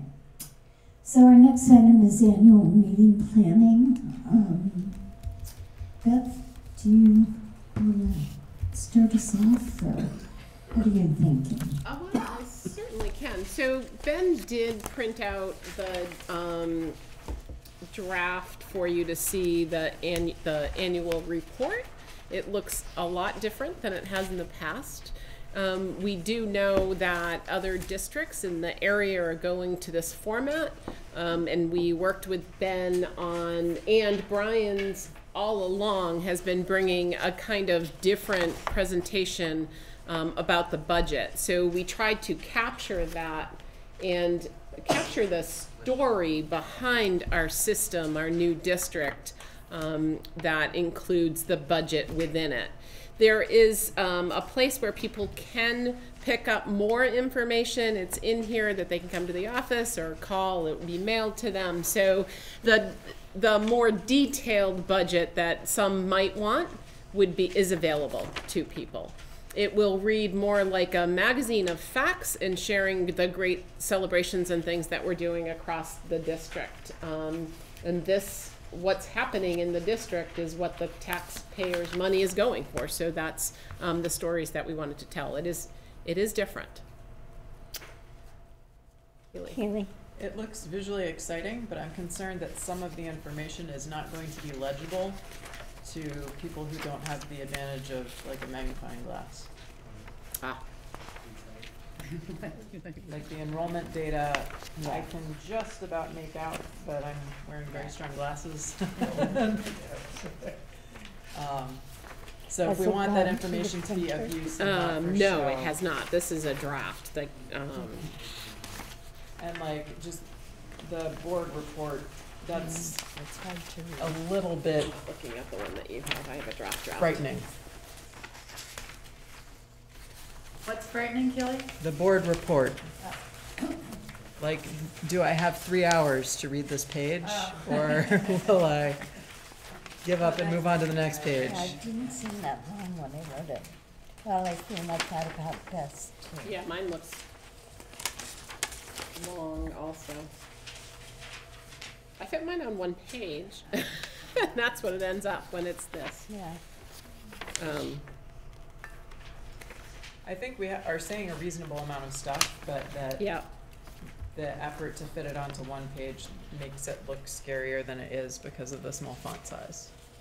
Yeah, I worry about people being able to read it, um, and I wonder if we could design it in such a way so that Beth's message takes up two pages and the board message takes up two pages, just so that we can make the font type larger. Yeah. And if you did that, that would probably help with the enrollment Okay. piece as well. Yeah, right. With the enrollment data, I apologize, I don't actually read through. No, it's know not. that, But I'm wondering if it wouldn't be more appropriate for it to go in other places where charts are, like. Yeah. Yeah. Yes, Yeah. exactly. Wow, that's pretty. Now we're Okay. going Al? Uh, just a quick comment. Uh, If you talk to members of the public, they're looking for, what does that mean to me? What, is this an increase or a decrease? Because it was a decrease last year. Um, Having the percentage of increase or decrease, along with what does that mean for changes in my tax bill? Um, And I know it's difficult this year for the way the state is structuring it. Yeah. um, I'd say it's is impossible. important and relevant to what people are looking for. And this is only the third year I've made this suggestion. So it's, on one hand, I'm a little concerned that we can't get a basic piece of information in that is uh, really wanted by the taxpayers of our community. The, the challenge is um, that um, I know. we don't know what the tax impact is. And I think this year more than ever, we don't know because the, the early projected rates, yields that were put out were based on budget assumptions that didn't happen. Well, then give them a range. Well, that is in the information that they can link to. There's a lot of information here. I don't, I don't, well, okay. Thank mean, we you. have to keep remembering that folks are voting on the budget. Yeah. Um, I did notice that this, um, draft has a meeting warning that doesn't include your signature and Brendan's signature. Did you both go in and sign? Okay, so then we'll have that. This was done before you had signed. Yeah. Yeah. So, okay. Um, other comments, Kim? I was just, I think, gonna echo and in, response to Al too, is that it's so very dynamic this year. It's not just recalculating the yield. It could be that we end up with something entirely different. I would hope that by the time we get to presenting this at our annual meeting, that we might be in a position to offer some information if it, to, maybe we'd at least have a new yield that is closer to reflecting the budgets that had been passed. But we, I don't know, we could end up in the end of June before they decide if they're gonna change the funding formula. So this year, more than ever, it's hard to do that with any integrity, and I'd be fearful that we would print something that wouldn't, we couldn't even guess if they didn't change the funding formula, what the right yield is right now, I don't think.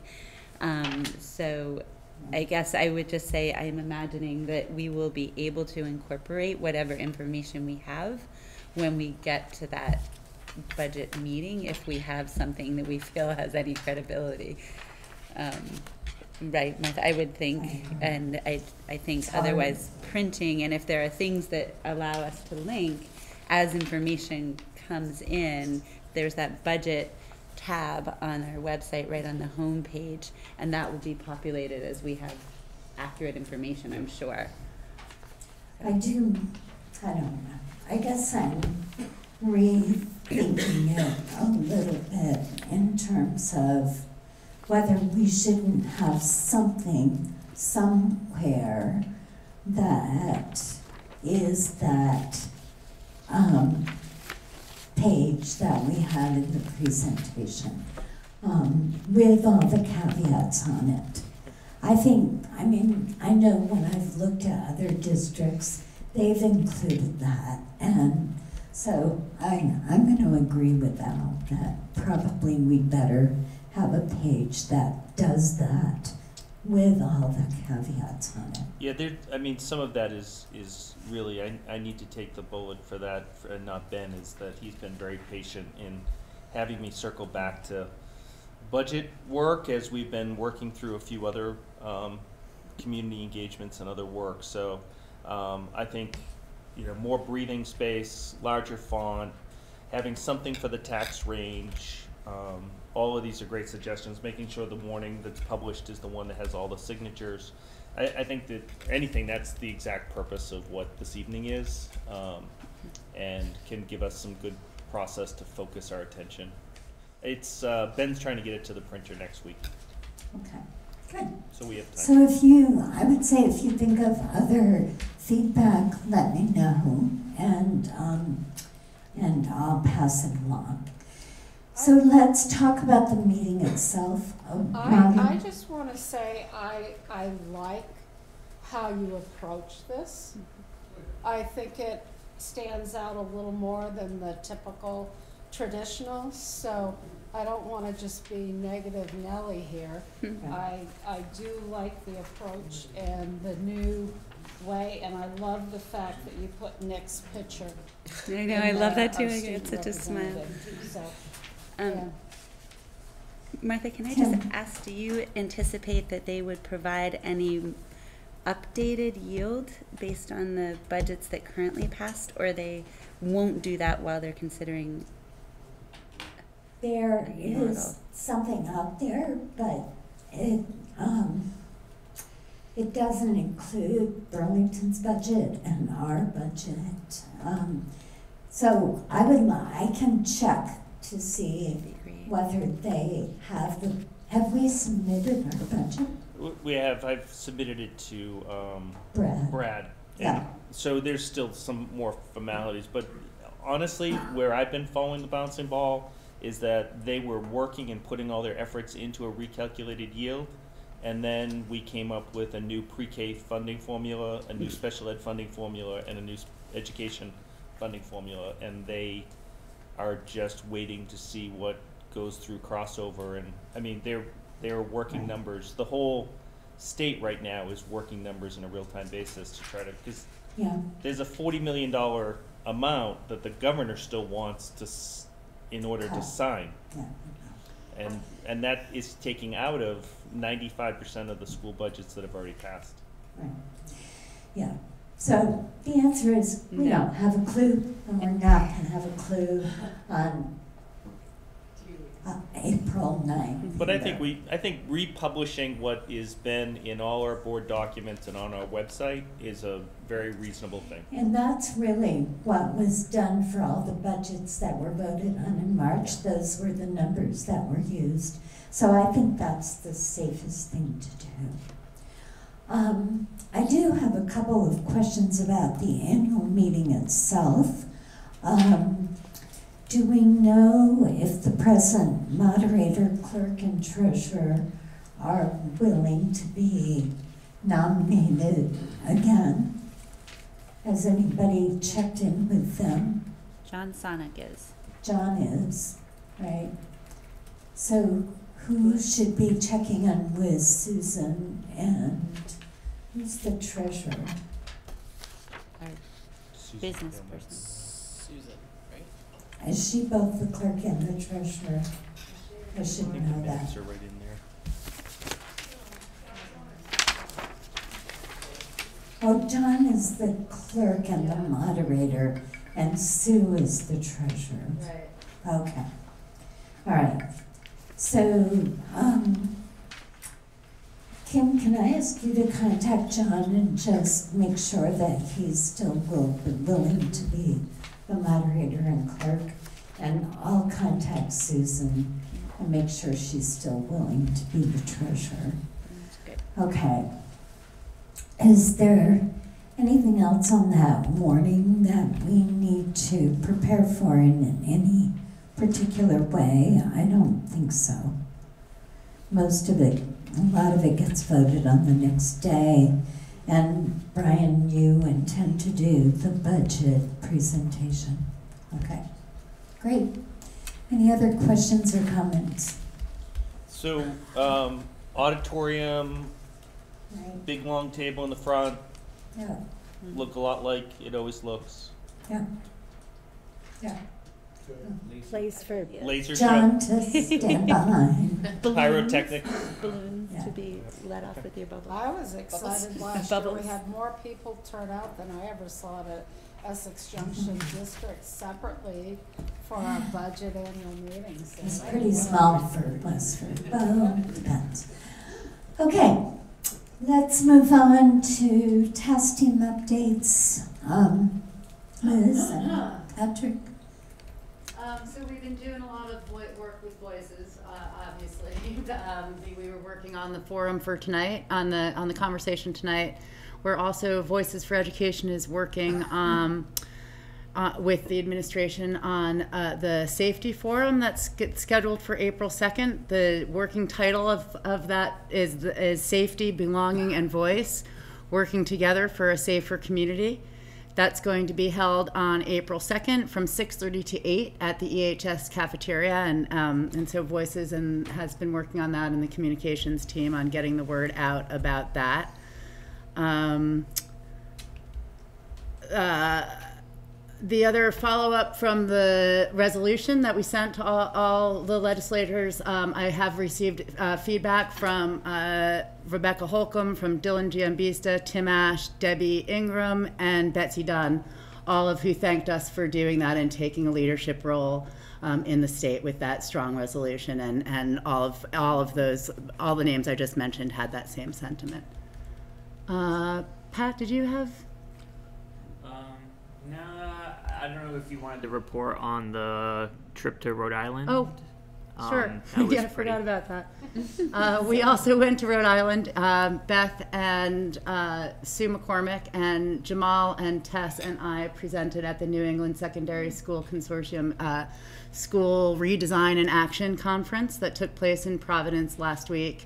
Um, we were scheduled to give two presentations. I had to take the students home because of the snowstorm that was pending, so we ended up having to miss the second day of presentations. Um, but we were able to talk about and uh, the work that Voices has done in the district and how that has helped the administration and the community to feel connected. And we modeled some of the work that we did in our community conversations to. Um, to really model what what engagement can look like and feel like if it's done well, and it it it, it, it uh, generated some really interesting conversations around that. Um, and I will just say, while I'm on Voices in general, we're really excited. The group is really excited about these opportunities that are starting to happen, where there's a real role to help the administration and the community have these hard conversations. And if you remember two years ago, two and a half years ago, when we were thinking about that grant, that was a real priority for us to really figure out how to do this better. And while we certainly have a long way to go, all those people showing up tonight and the efforts to communicate, I think, are really showing with people coming to the meetings and with the great work that Ben and the administration is doing and Pat with his Facebook moderation and the, the whole team. I think we're starting to see that change and, and hopefully will lead to a, a different culture that we set out to create when we got this grant. So thanks to everybody. Thanks. Brendan? Um, I wonder if there's been any feedback um, regarding the communication around the budget. I, I have not heard a lot of personal comments yet. There's some comments on Yeah, Ben actually sent something to all of us uh, just before the meeting started. Okay. Um, rural Essex um, had some questions about the budget, actually centered around specifically what the real tax impact was going to be. So I think it's probably a good thing that we're we actually addressed it completely independently, but someone may want to reach out to that specific individual. But they did have question, one question at least about that that came up.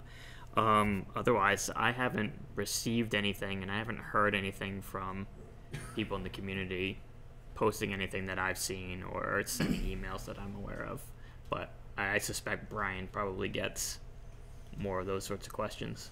Yeah, I've, I've had a few community members that have contacted me. I've sat down with a couple of the people that are a little bit more, you know, the usual kind of want to see the numbers and stuff. Um, I think people are have been uh, have respected the fact that we're lowering our educational spending per pupil, that we're nowhere near where the governor was talking, that they appreciate the presentation where it was quick to be able to see our ratios are above where um, that is, that we're seeing our spending in line, if not better than has been expected, and that the promise for merger, people have appreciated that it seems like we're delivering, especially by lessening the size of our administration.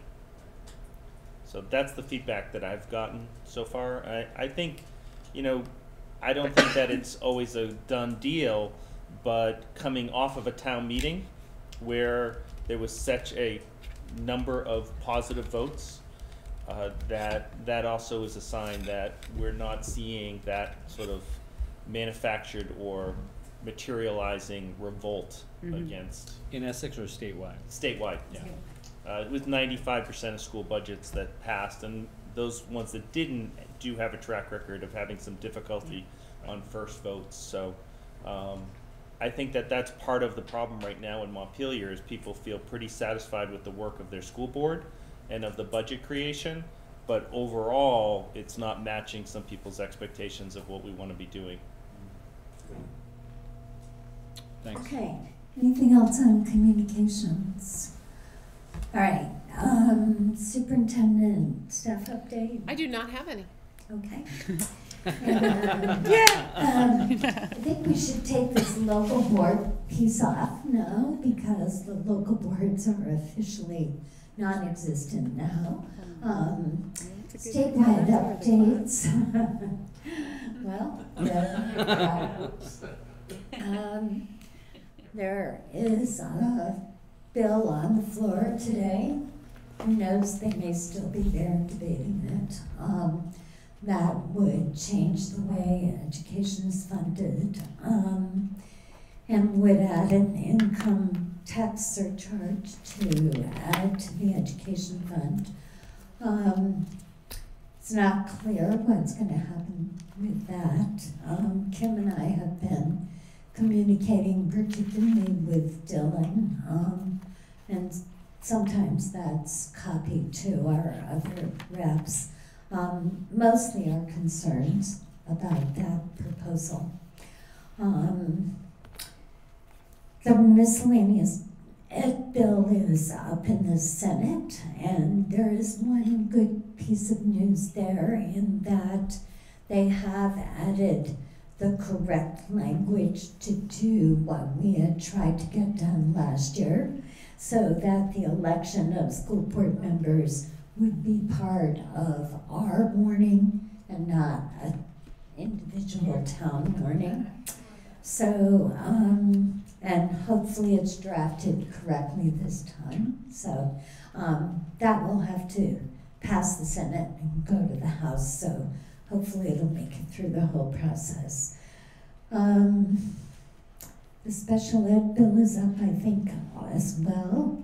We Uh-huh. had Dylan testify today, and Erin will testify in front of the Senate when it So gets to that point. yeah. She's the closer for us.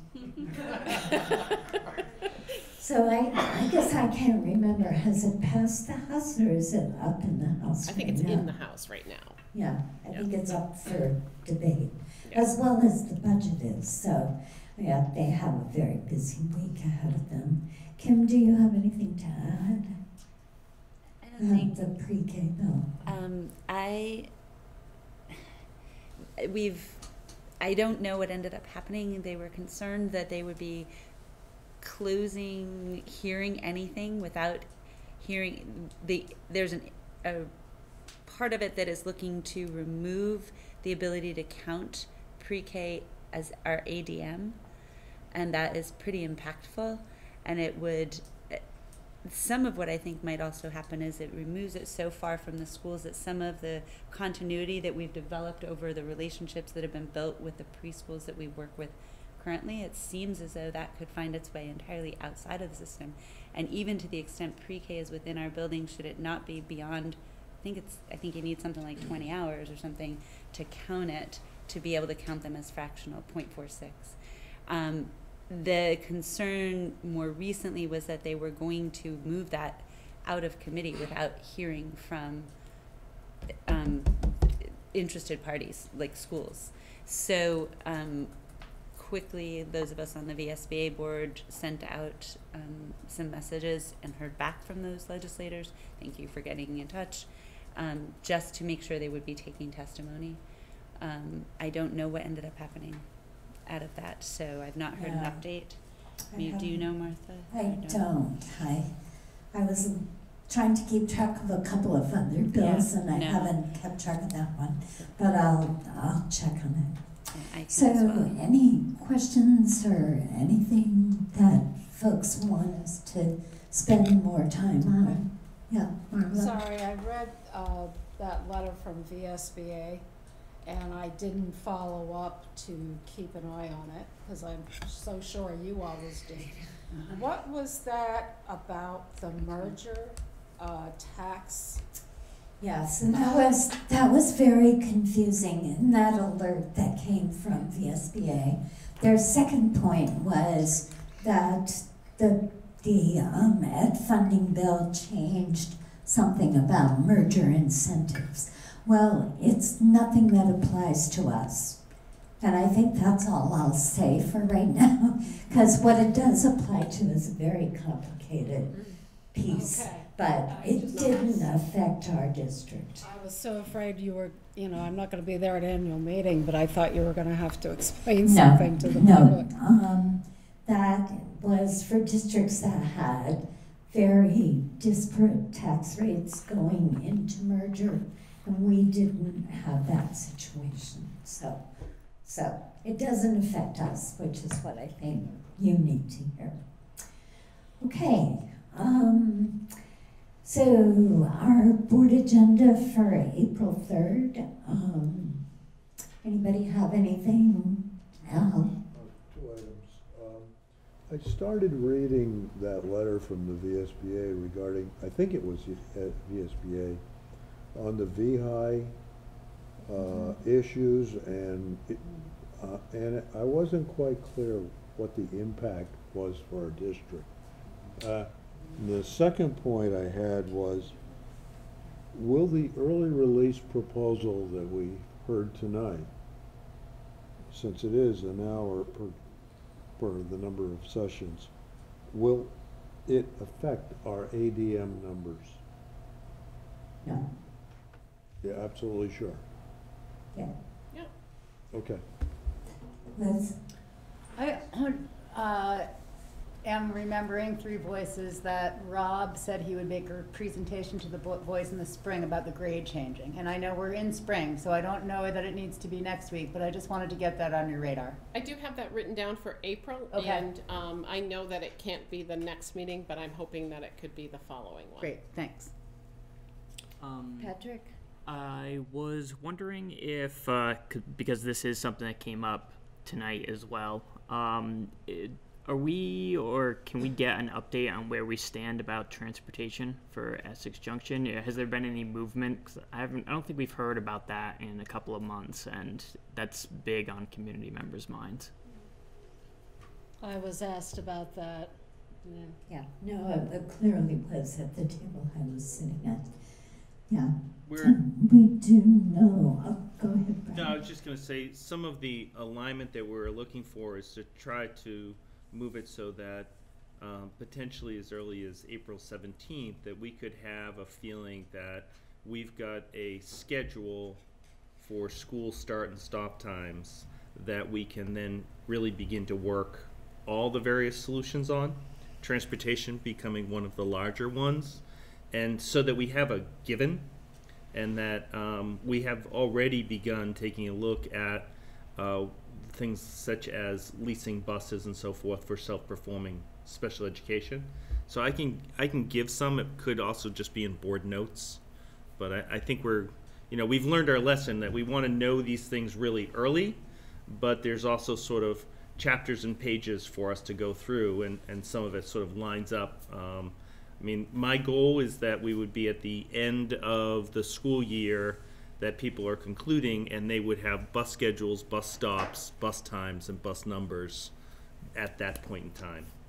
That that's the that I think is That's your goal. That's the goal, and certainly that's that's better than we've than any of the previouses have been, except people have known history.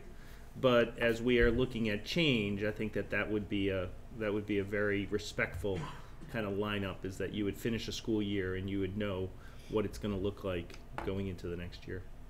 Okay. And we are gonna, um, have Beth's goals, um, are gonna come. We've been a little slow, um, being able to, get- being able, yes. Things are happening, we just haven't put that specifically in front of the board, so that will happen at the April third meeting. And just a reminder that there will be another community engagement opportunity at five thirty that night again around stop and start times and um, early release. Okay, um, Martha? yes. Can you please give me what we are talking about at the agenda, or what's the agenda? I wanna know what we're putting on there, I'm, there's a lot of discussion and I don't know what was concrete. Oh, okay. So what's definitely on the agenda is State uh, updates, task team updates. Update, state updates, task team oh, updates. those things that all Are start. normal, are you doing an update on transportation? I don't believe so. It sounds like if we get something, it's gonna be in our board notes. Okay, then what am I missing? Um, Superintendent's goals. Right. That'll be the We're gonna presentation. address Beehive issues. Um, I think Brian can just put that in the notes, what's happening with that. Okay. Kim? I guess I would just say that transportation, since the questions are coming at us live, it- the board notes don't end up having the same airing as an update provided here.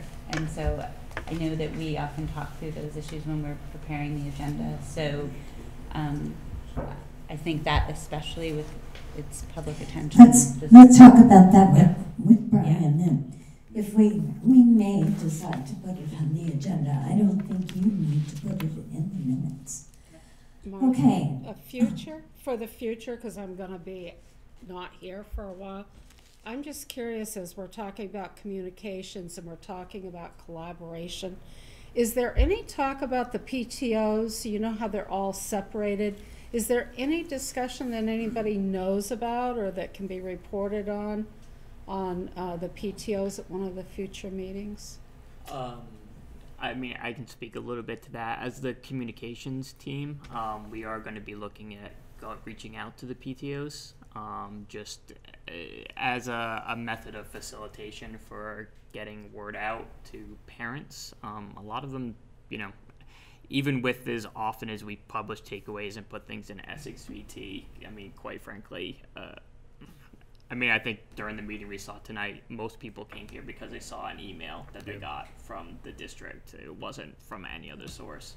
Um, so I think Liz and I plan to, I don't know, probably sometime next month, um, talk about how we're going to reach out to the PTOs and get parents involved. And I've gone to PTO meetings at Hiawatha and tried to give a few, you know. But there's updates where I no conversation of them all becoming like an elementary PTO They and then like. a- met in the fall, and I think they've, they shared, and I think they want to keep sharing their good ideas, but I think they really want their focus mostly to be at the building level, although in Essex Town, it covers all three buildings, but in Essex Junction and Westford, it's a building-specific group.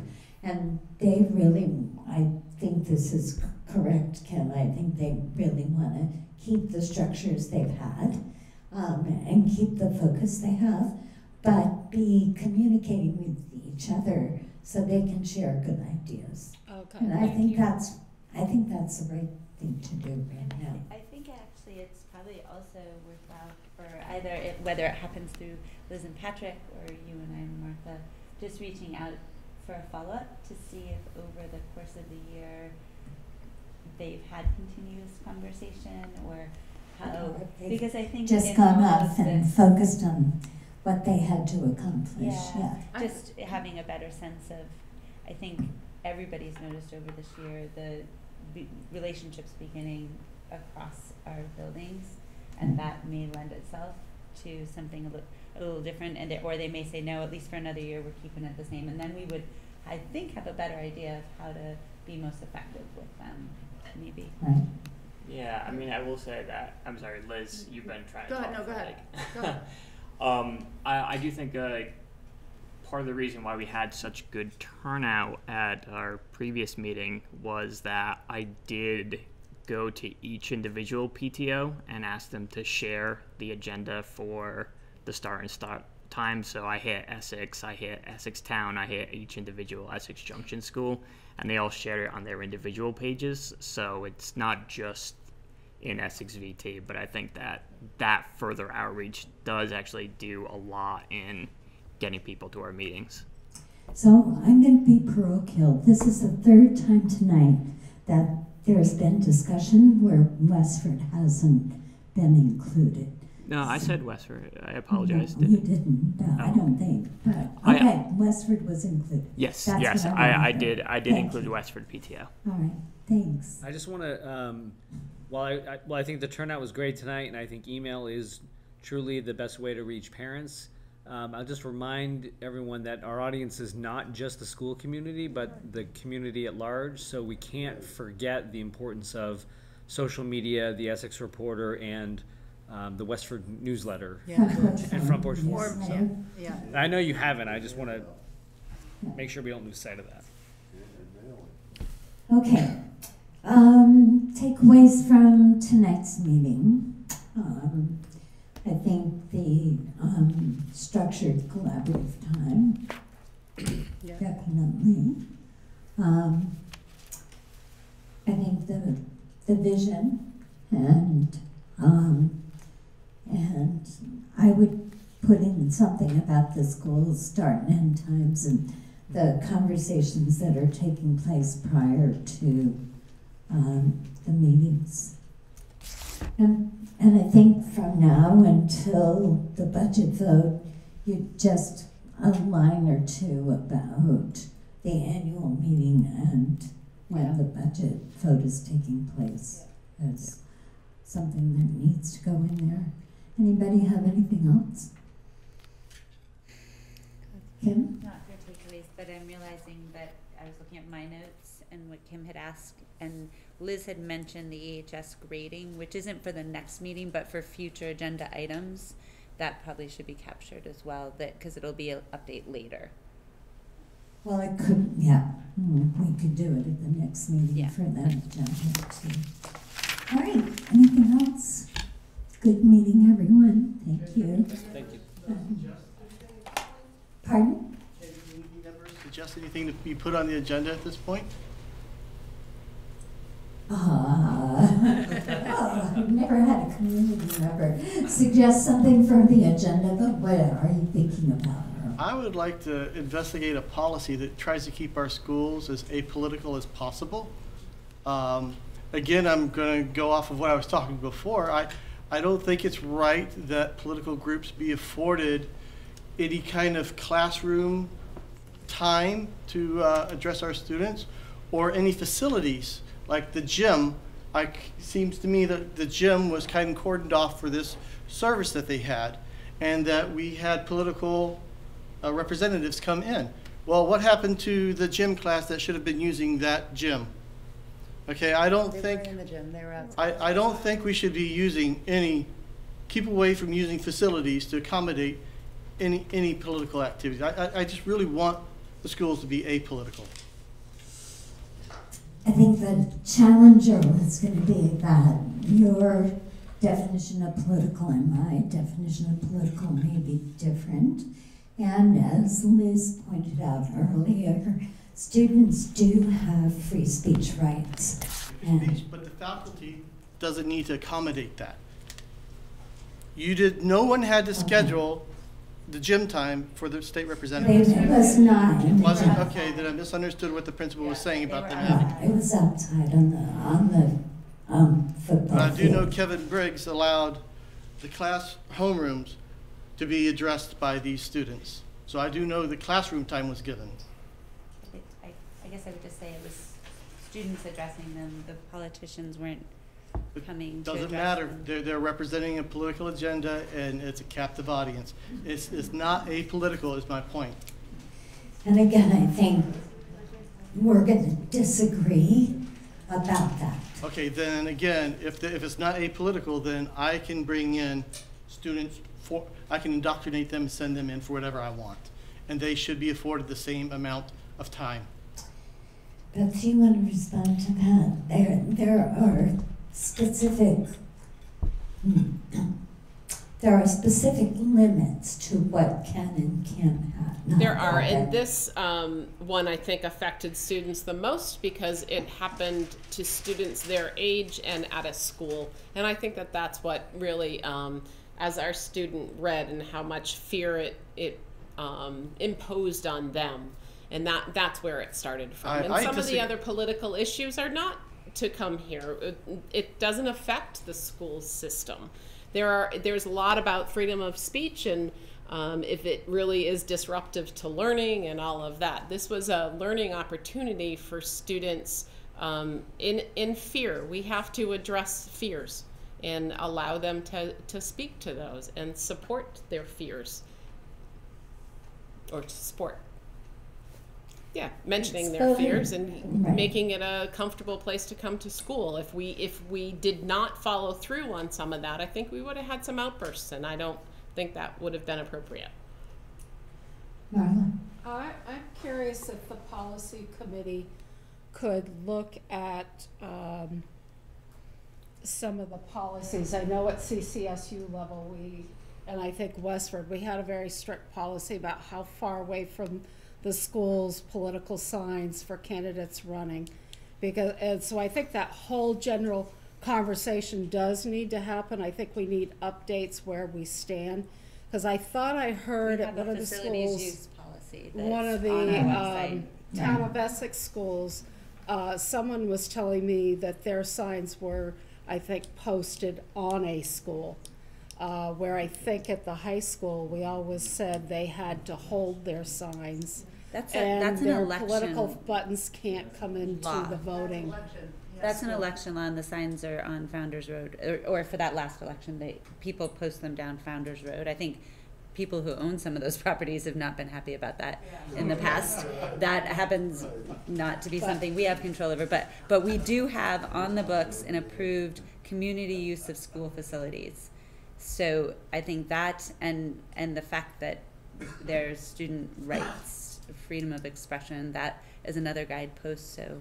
um, Yeah, so I think those are two things you can look at, Earl, is They're right on what our facilities use policy is and what the ACLU website says Well, you about can't suppress the, student doesn't, doesn't matter how many there are, majority, minority. They have, the- minority students, three percent, have the same right, same, same amount of right to speak as the majority. So to say that it's only for the majority of this particular issue, that's not, it doesn't keep the other people from speak, having the right to speak as well. Correct, that's correct. As long as it's not disruptive to student learning and it is not, I can't think of the right words, but if it was a white supremacist group that was going to cause students to be fearful, then you can limit that kind of speech. Okay. But I still think a future agenda, having these policies brought to the board and getting updates where the whole board hears it all together, I think would be valuable. Well, some of it's policy and some of it's just procedure, so, um, but the policy committee can think about that. I, I think it'd be worthwhile. Okay. All right, anything else? Okay, thank you again. We are adjourned.